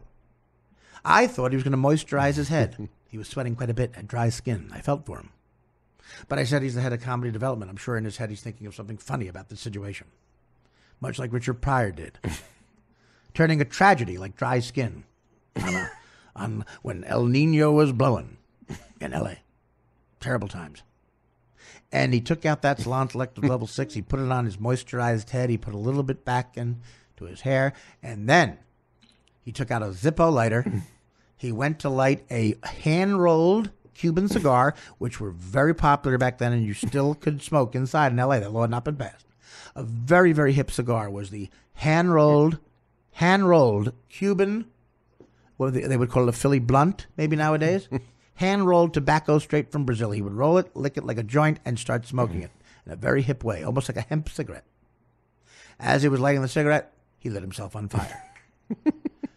now, you might say, Art, why would a man do that on purpose? You're wrong. Here's the funny part it was an accident. That's why it was funny. He accidentally killed himself with third degree burns. And I laughed for four weeks. Were the Santa Ana winds blowing? Santa Ana winds were blowing, and his ashes blew right out into the Pacific Ocean. now you might say, Art, what about all the shows that needed comedy developing? At the time, I believe there were shows just hanging out, hanging out to dry. Dr. Phil was about to get a sitcom. Emeril Lagasse, the chef, was pitching his show. Apparently, he was very, very involved in that. I talked to Emeril later, and he said that kid who lit himself on fire had a lot of great comedy ideas. he was, you know, the BAM thing, the BAM thing. They were afraid about getting licensing, so he changed it to Wham. The head of comedy development changed it to Wham, and they were about to get all the artwork for Wham. It was going to be the it was going to be the artwork for the show. It was going to say Wham on Emeril's forehead, with a goofy look on his face. All the idea of this kid, all the idea of Shecky. When accidentally he lit himself on fire, lighting a very hip hemp cigarette in the offices of the head of 20th Century Fox while I was in the middle of a pitch. All right, well, here were the top shows of that year Friends. Friends, well, no, this was CBS, remember? Okay, okay. Uh, Do your homework and wash it on the couch. w- what was Third Rock from the Sun on? I don't know. I, uh, quite frankly, I don't know. Third rock from the sun is what that means Earth, right? Yeah. That was that was on. That was huge. That's about CTV. Everybody loves Raymond was on. Was House of Buggin' on? was House of Bug? Oh, I know what he wanted to do. Everyone loves Raymond. He was going to change the title. Everybody is on the fence about Raymond. he wanted to change to something a little bit more ambiguous because Raymond had a lot of humility, like a lot of funny people that he was going to fix it, even though it was a major hit in the fourth season. he wanted to change it to either that or the jury's still out on how we feel about Raymond. Chris Rock had already taken Everyone Hates Chris. So they had to do something in the middle. And Shecky, the half Asian, half African American head of comedy development at the age of 25, before he lit himself on fire accidentally in the offices of 20th Century Fox, while I was in the middle of a pitch, said, Here's your two options, guys. I'm going to throw them out there, and guess what? I want my bonus. No one came up with anything nearly as good. And supposedly Ray Romano flipped for it. As a matter of fact, he invited Shecky and his partner, he had a life partner, Shecky, over to uh, Everyone Loves Raymond's house. And he was going to reveal the new title of Raymond's Family and the two twins Raymond has. It was very involved in the comedy. Phil Rosenthal was all set with a legal pad. And he said, Here's the two titles. I'm on the fence about Raymond. The jury's still out about how we feel about Raymond. Thank you. So you might see, in all fairness to me, I did not know about those two ideas when I laughed at him accidentally lighting himself on fire. Physicality of it, if you could it was like Jim Carrey letting himself on fire. You know the scene in Ace Ventura when he comes out of the shitter and says, "Do not go in there" to Courteney Cox. Imagine that him on fire in that scene, real fire. Richard Pryor fire. We miss you, Shecky.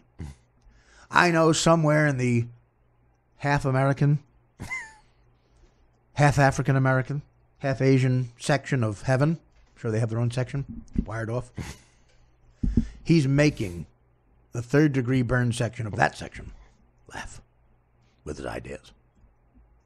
You just have to find, you can tell someone's funny by hearing one idea. On the fence about Raymond, right there you're sold. Right there, it's a young Albert Brooks. But when he comes back with a topper, when he comes back with, in fact, the jury's still out oh, on how we feel about Raymond, that's when you go, legend. Which brings me to number four. legend. What did I do there? What did I do? I did something very funny. Very funny. Kind of like, uh, don't go there. Matt speak. Matt speak. Don't go there. At number four. That's right. I have to put Matthew Perry. Who's funnier than Matthew Perry? Well, apparently three other people. I'll tell you later. but Matthew Perry, I, I've I've mentioned it before. Come on, come on. The funniest Perry for years was Steve Perry. then it was Rick Perry. Then it was Perry Como. now, and for always, in my opinion, it will be Matthew Perry. One word, Matt Speak. When Perry, Matt- Perry Mason didn't make the list. Perry Mason was a very homosexual man in a wheelchair. I'm going to solve this case. Then I'm going to suck your dick, Your Honor. And I'm going to suck it hard. I want your brown. Mickey Rooney once said he saw, he fucked, Mickey Rooney, true story, fucked 16 Japanese hookers on a plane ride back from Japan. Or a boat. Was it a boat? I'm not sure. Well, six in one, half a dozen the other. Point is, 16 Asian whores around the plane. And uh, he was fucking their pussies the entire way. And then he saw an ass that he liked. And when you thought Mickey Rooney couldn't get more grotesque as a human being about sexuality, he looked at his assistant and said, I'd like to fuck her right in the brown. Man, referring to her asshole. That gets brown, like all of our assholes, from a lot of shit passing through it. You know, for a, for a while, I think it was around 2004 or five. Uh, UPS had a campaign. What can Brown do for you? Exactly. I'm serious. Exactly. What can Brown do for you? Scrape your cock? Could you imagine four foot two Mickey Rooney fucking a four foot one Asian whore in the ass on a plane and saying, I'm giving it to you right in the brown? Now, in this top five list, is this Matthew Perry as a TV star or his movie career? Excellent point. No one brings that up. No one brings that up because no one can remember a movie Matthew Perry. Had to give you a little dig there, Matt. You know I love you. I did a little match speak. I'll send you a check. What do I, what do I owe you for making my podcast that much better? well, what about? I'll, I'll give you a couple of words that comedy will never be the same after hearing whole nine yards. Whole nine yards. 17 again. Oh, of course, Dan knows it. Fools, Fools Rush In. Two people know Fools Rush In. It's a Matthew Perry movie. Two people, Rick Steves and Dan Falato. Oh, no, and Tommy, who's the guy who choreographed Broadway? Tommy Tune. Tommy Tune. Tommy Tune knows as well. I want I, another contest for the listeners. Okay, if you can tell me the exact hour and second in the podcast that I stopped doing a Rick Steves impression, got lazy and just started talking like me, abandoning this bit, which was on life support for a while. If you can give me the exact, Mr. Dan Falato, that's right, the matrimonial peacemaker, made his peace with Ken Cole, Steve Dahl, and Rick Steves. The kidney disturbing. Ladies and gentlemen, what you've just heard is probably the weirdest broadcasting uh, show in the history of radio. What you just heard proves that I stopped caring. Today, I shot an HBO pilot with arguably the biggest director producer in the history of comedy, Judd Apatow. I'm the second lead. I play myself. The name of the the name of the episode is Artie Lange. That's what I've done the last week. I'm the second lead of the fucking show. That's right. How'd that happen? My life is a bizarre twist of a stupid carnival ride. It makes no sense. My life is a, someone you look at and my God, they have an abnormally large cranium. They look disgusting. They look like they're from another planet. Then all of a sudden they dance like Fred Astaire for two seconds. Inconsistently. Then they go back into the darkness and trip, and their face falls into horseshit. They do heroin, they come out, they sing a song that's racist. They're banned from another broadcasting network. Then they turn up in their kitchen doing a podcast with Dan Falato. That's right, ladies and gentlemen. What you just heard is probably the stupidest, craziest, nonsensical, chaotic shit you've ever heard in your life. Nothing I said in the last hour and a half. How long have I been talking? An hour and a half. An hour and a half. One hour, 33 minutes, and 24 seconds. For the last one hour, 33 minutes, and 22 seconds, you've heard nothing. I've just said 4,000 words, and I've said nothing. I've done stupid voices that make no sense. I've done characters that make no sense, told jokes that have no structure. I've done horrible impressions. Dan Falato once again gave me nothing. He sat there quiet most of the time. Couldn't even fake laugh. He looked down in disgust and embarrassment, leaving me out to dry. You hear that dead silence? You think that's fun when you're doing a Richard Speck impression? no. Dan refuses to give me anything. Gino Bisconti, nothing. I'm like a tweet that doesn't mention Gino Bisconti's name. He ignores it. Chris Cotton, nothing. Ever. Ever. Falato, nothing. Ever. I'm here. I'm hang, I'm hung out to dry. Everyone says, when are we going to do the podcast? You going to do the podcast? You going to do the podcast? You want to do the package? Do the podcast? Podcast? I sit down, I talk, and I get nothing. They press on, and I talk like this. They don't even fake laugh, not a giggle. Throw me a bone, proving they've never done comedy. They've never done it because they know. If they had, give me something. Slap the table. Make a noise. I'm hung out to dry, doing a Bill Kurtis impression. Giving highlights of a dinner party in a backyard in Chicago where people name their penises. I'm bringing that up. Disco demolition references. I'm talking about Rick Steves, Rick in L.A., Mexican impressions. I'm telling horrible racist Rick jokes. Speck. Rick, Rick, Rickard Speck. yeah, Dan adds that. Made no sense. First time he opens his mouth, makes no sense. Digs a deeper hole for me. That's what he did. Today I shot an HBO pilot. I finished the take. People applauded. They laughed. They said, Artie, great job. Great job. Maybe we'll make you a regular. You're going to be on this show. You're going to be a big star. HBO, blah, blah, blah. Then I come here and it's the same shit. Dan's like, we're going to do a podcast. We got to do a podcast. You guys want to do a podcast? Well, if I do the podcast, will you help me out at all? If I just keep talking for an hour and a half, will you do anything? Probably not. Okay. Thank you. Can you fake laugh at all? Because it's hard when there's just dead silence. Probably not. What will you be doing? Well, nothing. The Brussels Griffon. Who? What heterosexual was, guy that knows was it? in your past life. that was when you were Yeah. a different person. Because I'm, when you were I'm- Bruce Jenner. Yeah, I'm a rump wrangler because I know the name of my Rump dog. Wrangler. What are you, a rump wrangler? No, not, no, not just because. Okay, the. Rick Steves thing I give you. I didn't notice all the the uh, outwardly gay stuff that he does until you pointed out. Oh, Dan, I give come you on. that. I didn't. I watched the travel You notice show. gay stuff about everybody. That's your first thing to point out. He seems like a pig. Well, because he always had his wife on the show and his kids. Oh, well, that's they can't get by that. He's not gay. It's his wife. And since He's- you he's pointed sucking- it out- he's blowing a guy next to his wife. he's not gay. That's his wife. Since you pointed it out, I've noticed certain Pointed things. it out. Did you ever hear Rick Steves? No, not Oh, until play- I started play, doing Rick, this. play, Uh, play, play. uh, I, I heard. Rise on. Okay, rise on in this loop. Then okay. I, I, He he. This is the guy that Dan can't be in the same room with. He gets the shakes. Explain it, Dan. Again, he, he he gets the shakes and he can't be in the same room with him because he's so he, he admires him so much because he's able to haggle at a hotel. right? I mean, you haven't told us anything else about him. he can haggle at a. I'm sorry to go down this uh, rat hole again, uh, listeners, but they love this. They seem to love these discussions. But the Brussels Griffon thing opened up a whole new wormhole. What straight guy says Brussels Griffon? That's the name of the dog. No, it's Brussels Griffon. It's not. It's Griffon. Well, Even when I showed it to Russ, he goes, "You're right. It's Griffon." Yeah, okay. Thank you.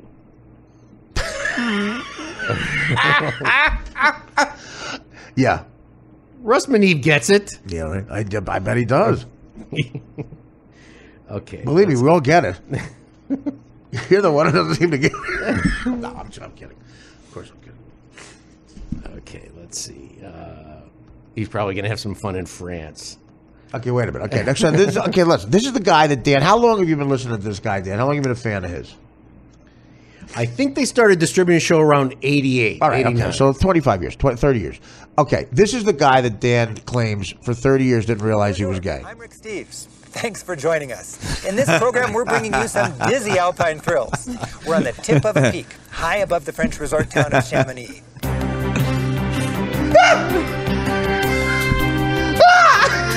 luge, and feast on a little fondue in Chamonix. Then we'll ride the Glacier Express to the region of Appenzell, where we'll spend the night in a rustic mountain hut. In Western Europe, France and tiny Switzerland come together high in the Alps. Starting in the French alpine resort of Chamonix, we'll cross the width of Switzerland to Appenzell, seeing spectacular sights along the way. But first, let's backtrack a bit. A scenic slalom of alpine wonders fills the valley right here in the shadow of Mount Blanc. Fills the valley? And down there is where we woke up, in the town of Chamonix, a world-class climbing center. The town of Rasputin. We began very early to minimize the crowds and clouds. Both tend to gather in the afternoon. These two climbers are pointing to Mount Blanc. Ah, Monsieur Okay, turn- Balmat turn- turn and Monsieur Paccard were the first to climb. Monsieur Picard. He just said Brussels Griffon. That's what he said. All right, Dan, you're laughing. So, is it a joke or you're you gay or not a joke? You played a practical joke on me. So he he didn't realize he was gay. Who? You you didn't realize Rick Stevens was gay. You know, really I. I I really didn't notice it until you started There's- pointing there's out. a lot of I difference. started pointing it out. Nobody else did because all my friends are you- probably because they're- guidebooks. Oh, Dan, they're Every afraid. person. Dan, they're afraid to point it out. Okay, you met my friend Dominic from from Folio Wines. did? You, he came here for a day. He watched the. I believe you. If I had a loan with Dominic, I'd say, "What do you think about it?" Yeah. Dominic used his books in Italy. He's Uh, and yeah, I'm not Dominic's saying- from the Folio Wine Company. Yeah, but could Dominic be in the same room with him? I'm sure that he could. Tell him what happened. Tell, tell uh, Have you Ryan met what him? happened. Has he met him? Oh, Oh, oh, he's God, met him. you know what? You haven't heard the Rick Steves thing. Okay, yeah, I'm sorry. I thought you I were- knew he I liked thought him. I could get through the end of the year without another Rick. Dan, let me tell you something. You could have if you didn't pronounce It, that's correctly. the name of the dog. Okay, explain to Dave why Rick Steves is famous. He he writes these amazing travel books, and he's on PBS all the time. I can't Dave, believe Dave, wait, know who don't laugh. is. You have no idea. Save the laughter. You have no idea. Go ahead, keep going. and he just has these amazing books. And uh, the guy from uh, Page Six, I can't think of his name now, that we had on Richard Johnson? No, no, no, that we have came in here. the, the the reporter that you Richard Johnson. no no no that you like said Richards Johnson. He, he said he- I don't fucking know what you're talking about. from from California. He came in here and we. Uh, who cares? Let's tell the Rick Steves he story. even he mocked me so bad on on Twitter and stuff, and then he about a- a month later, he- after watching his shows, he goes, "You know what, Dan, Dan's Dan, right." Dan, he's, he's that, that forget it. That's you're, you're being irrelevant. Who's Tell the- the who's the guy? I have no idea. Tell us. He doesn't exist. Tell the story. Tell him the rest of the story. So uh, I just he has He, he has a travel show. he has a travel show on on. It's on and, and why why is he so special to you? because he has this uh, special gene in him that I, I don't have. Like when I travel, and I love to travel, I go to Europe. He can like go up and ask for deals and stuff, and get, and I just don't have that. And I, I I'd just rather pay full price. I don't. I don't want to make fun of him. He's gonna get angry. I'm not gonna get angry at you. No. Okay. Now. Okay. Now. Okay. That's the setup. That's totally true. Oh, that's just the setup? AJ Benza. That's okay. Now, Dan, AJ Benson does not believe. He's goofing. If it's Oh, any he's not. I have the same. Okay, wait, emailed Dave, Dave, he's like, stop. That's Dave. That's the opening act. All right. All you heard was the. You just heard the Clash. Okay. The Who is about to take the stage. I play play Rick Steves for oh. for play, go, All right, I gotta hold on. I gotta get something. find him on the internet. It's the way he words it. though. Okay, what you just heard. you just heard the Washington Generals warming up. You're about to hear the Globetrotter. okay, this is the guy Dan gets the sweats in front of and can't be in the same room. This is a clip from his travel show that Dan's about to play. Dave, believe me, you want to do calisthenics because you might, you're gonna laugh so hard you might pull a muscle. This might explain what happens at the high school. The- Whatever. I don't mean the fucking rules. Just, uh, this is Hi, I'm Rick Steves, back with more of the best of Europe. This time, we're enjoying the edible, drinkable, scenic, and floatable delights of one of my favorite corners of France, Burgundy. Thanks for joining us. I lo- I'm almost envious that Dave is hearing this for the first time. Turn it up, Dan. It's the it's the Just turn it the fuck up like Born to Run. My favorite color, burgundy. Wait, Dave, you have no idea.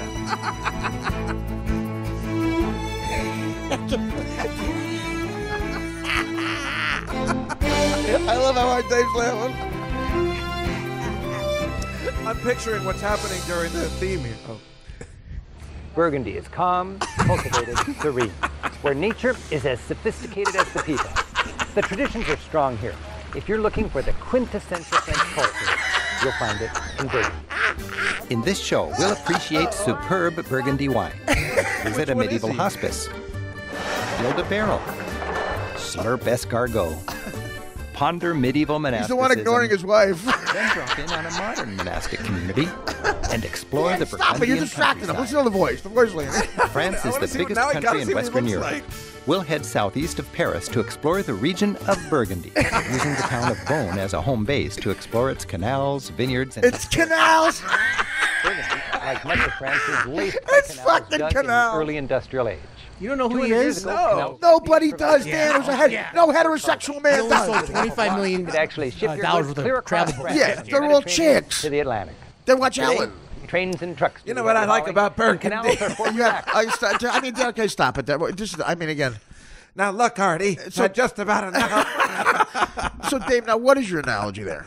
I, I, I don't know. I don't want to say that. okay. Are you afraid of his anger? well, one day, yes. one day we were busting Dan so hard about this, like guys do. If at the end, believe me, you're a fan. You're a fan of the Chicago Cubs. If you went to the Chicago Cubs and told them a story, all, all your favorite guys, Ron Santos, your favorite guys of all time, Ernie Banks, they'd call you a fag because you're they, you're not a gay. You're not a gay guy. So we're having fun doing. it. I don't think he's gay at all. Of course not. I'm just saying I had the same thing happened to me where I couldn't talk and I couldn't sweat, but it was Lee Major. Acceptable. that makes way more sense, and he's kidding. But uh, that is. a if he little walked gay. in here right now, what, what would you do? Rick Well, just to show you guys up, I'd probably talk to him, but I'd be nervous. Hey, Danny. I'd be nervous, kind of like a nun in a cucumber. He got like He met he met Rick Steves once, and he got the sweats, and he couldn't stay in the room. He had to leave. Because you like your show that much. Because yes, because I like a show that much. You think he's a classy. Tell, no, tell, tell his, Anthony. his books are good. Okay, Anthony, They you don't even know that. You don't even know the half of it. I, I didn't know it was like okay, that. Okay, so t- describe to Anthony what happened when you met him. Now, you know who Rick Steves is, right? I do. You know what he sounds like? Y- yeah. Do you know what he sounds like? Kind of like a higher. Okay, voice, play right? Rick Steves for him. I Give me at least. Yeah, I forget. I mean, I've seen him on like And PBS. if, on if, if you, PBS, if you podcast people think you've heard, say, "Oh fuck, we've heard this before," dude, you can't hear this enough. you cannot hear this enough. Trust me, I'm the professional comedian. This will always be funny. okay, you can re- you can hear this on a loop. Did you go to meet him like at a you know at a signing? or You'll, something? you'll you'll hear you'll hear. Okay. just just believe me, trust me. Okay, I do. Okay, Hi, I'm Rick Steves, back with more of the best of Europe. The people here claim if you stand on a chair, you can see all across their country. This is the best of the Netherlands. Thanks for joining us.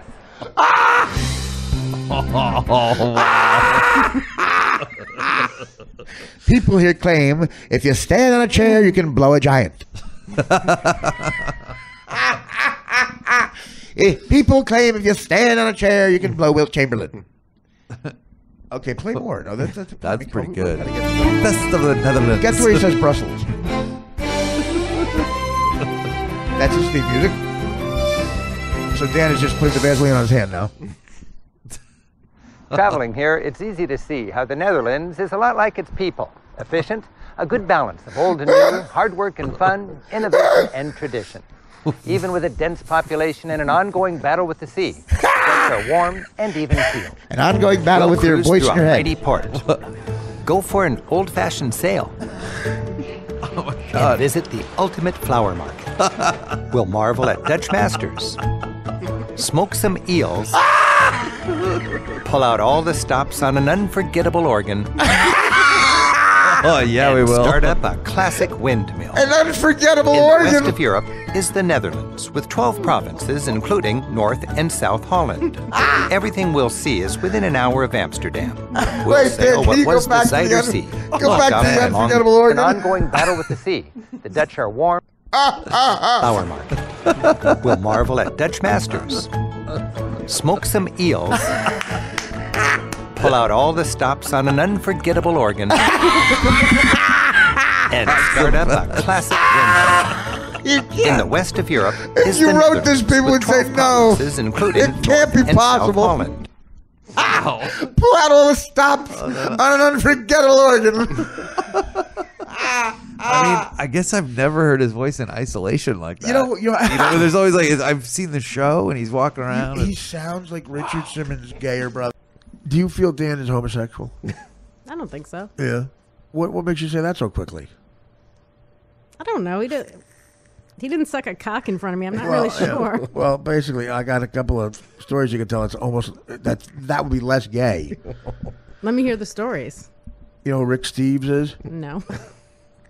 We can't get into it. It's you know it's so good. I can't get into the story because it's so good. I will go down that tangent and spend hours, and I, I won't get out of it. It's that it's it's such Oh odd. man, just I'll look him up. Just go It's into such it. odd human behavior. Okay, there's a guy named Rick Steves. Okay. Who Dan is such a fan of. Okay. I mean, such a fan of that he can't. This geek guy? Okay. He can't be in the same room as him. He was in the same room as him one time, and he got the sweats. He got the sweats, and he shook. That's him. And he couldn't be right. Dan, corroborate this, right? Yes. You got the sweats, He, and he's a television personality focusing on European travel. right That's a guy that you got now. Wait a minute. hard on. For? Now wait a minute. Okay. You know, again, I say this to everybody who I tell a story to. What you're experiencing right now, Dan, look him up. Just look him up, please. You know, I what's- did look You know up. what's coming. No, we got to get a ah, I full audio. get I might as well. What you're experiencing right now, Adrian, is the opening act. Okay. Okay? This is the clash. David Johansen. The Who is about to take stage.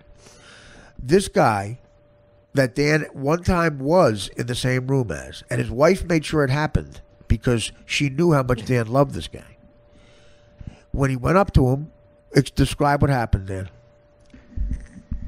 I couldn't. I couldn't speak. He was Because speechless. of his European traveling? he couldn't speak. Uh, because I had been such a fan for such a long time. Right. I Right. just couldn't speak. He was a fan of a guy on PBS who's a travel guy. I'd been watching his show since I, I think he started going on PBS around 89 or 90. And I just became a fan. His books are amazing. Oh, his books are amazing. and what ability does he have, Dan? What gene does he have, as you say, that you don't have that makes you impressed by him? He knows how to get deals, like on hotel rooms and on. Tr- on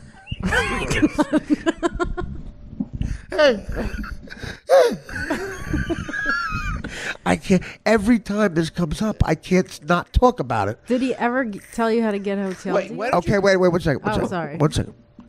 All right. Why don't you tell me? Now, your what story? happened? What, Dan, Dan, Dan, what happened? Okay, we know that. I didn't do this. What We happened, had Dan, when you went up? Describe to Adrian what happened when you went up to him. Your wife brings him up, and this is my husband's a big fan. Go ahead. I, I couldn't talk. and what happened? I started to. You cried? I started to sweat. Sweat. And I had to leave. Sweat. He had to leave.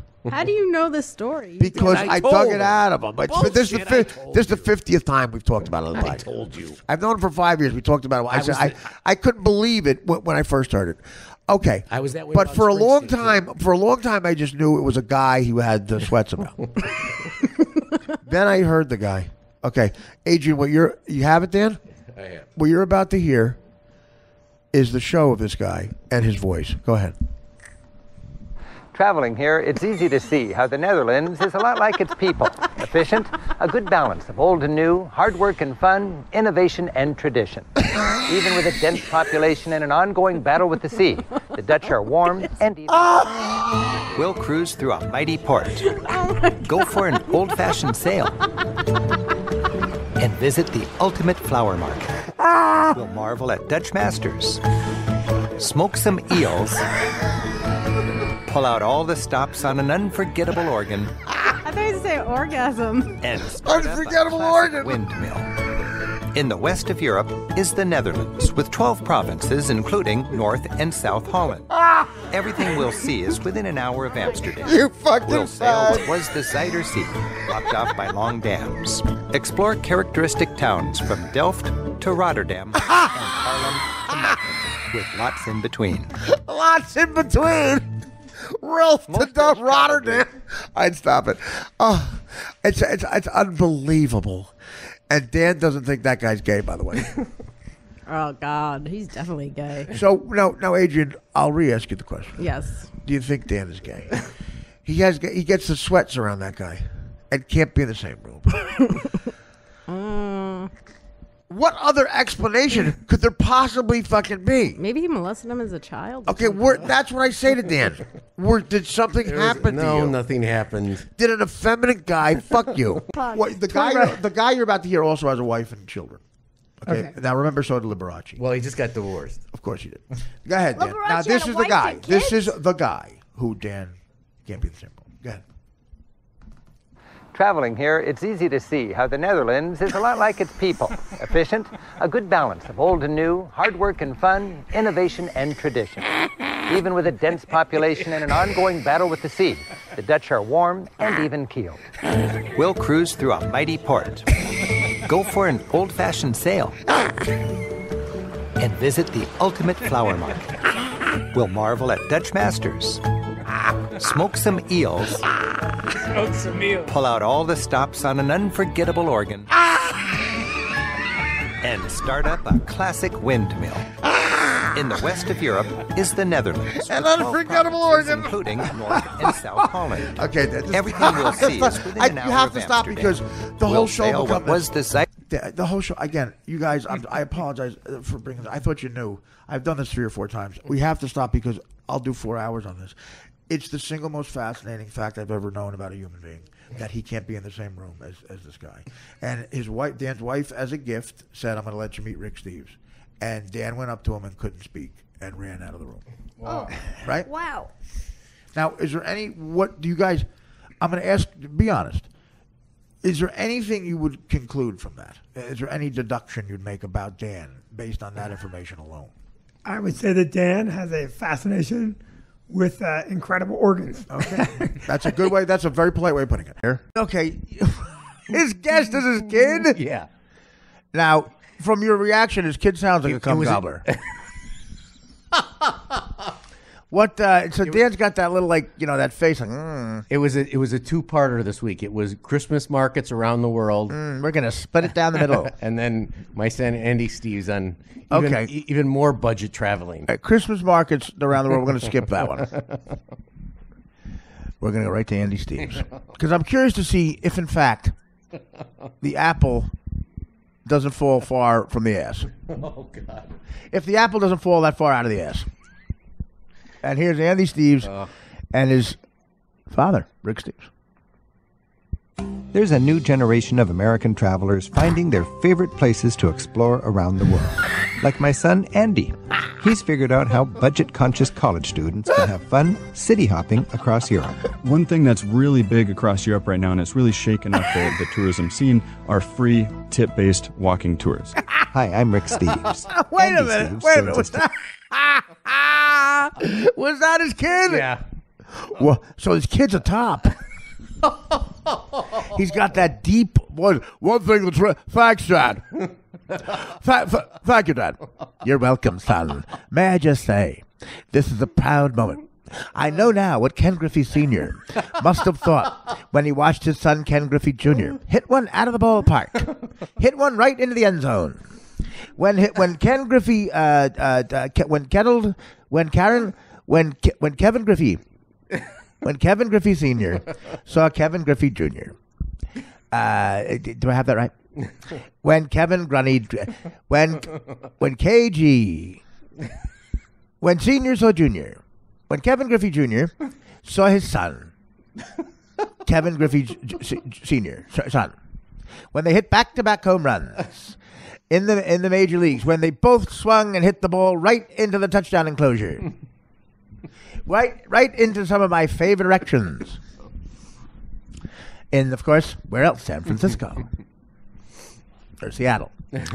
and they've hit back. To, now I know what that feels like because I am I am introducing my son on. Uh, and what is he talking about? He's going to tell about what is it? He's talking about hiking right up an ass, Oh God. right up a canyon in Europe.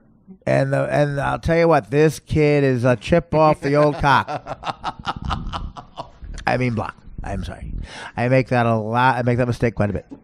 Rick, when you go to a when when Rick when a trendy German takes you to a beer garden by yourself when because the wife is a little tired, and your uh, boys home lathering up the boys. What are the tre- the trendy Germans? Rick, what do they take when they take you to a beer garden? What do they tap? well, I'm glad you asked me that question because it's both metaphorically, figuratively, and literally.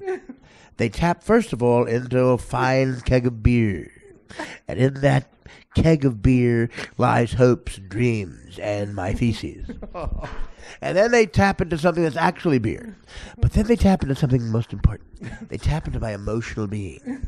They tap into that, that thing in me, that personality in me that comes out and says, Hello, friend, yeah. Hi, I'm Rick Steves, back with more of the best of Europe. This time, we're in Italy for the wildest horse race in the world. It's here. It's Siena, the Palio, and a whole lot more. Thanks for joining. What did you like about horses? The theme music's great. that was Peachy impl- pasta. This is him. Tuscany seems to be every Italy connoisseur's favorite region, and for good reason. Here in the heart of Italy, the rustic soul and historic charm collaborate, seducing travelers into tossing their itineraries. Seducing We'll enjoy an travelers to toss aperitivo on a salad. great Marvel, exquisite art. I can't shut that. Stop for a minute. The writer has to be a joke, a joking on. The writer has to be goofing on them to toss their itinerary. he, he writes his own stuff. Yeah, right. I'd like a nice tossed salad. I'm Rick Steve. I'm Rick Steve. I got my tongue pierced, and I want to go into gay porno. I'd like a nice tossed salad. PC, please. So play a little more from that. I can't get enough of it. Eat cheese in an Etruscan cellar. Settle into a farmhouse B&B. Learn to make pici pasta. Taste one of the world's finest wines. Prepare for a festival and go to the races. Italy packs 55 million people into an area about the size of Arizona. Between Florence and Rome saying so is the region gay of words. Tuscany. Oh, it's packed in Siena. Okay, picture. Here's the analogy. Yeah, picture my asshole's Arizona. That writing's got to be. And picture packing in. As much as Picture. you can. Okay, my my asshole's Arizona. Picture packing Texas in. All of Texas gets packed into my Arizona. But, okay, my asshole's Arizona. Here's how I'll describe the analogy like this. My asshole's Arizona. And picture someone's penis is I don't know the uh, the, Lu- the Louisiana Purchase. The entire southern shelf of America gets packed in, packed into my wonderful asshole. Wait, what does he look like, this guy? He looks just like uh, James Caan. That writing on that is unbelievable. Yeah, right. Uh, uh, yeah, uh, listen, the writer, Rocco, listen, there's a lot of packed in here. I'm hearing a lot of giggling after I say packed.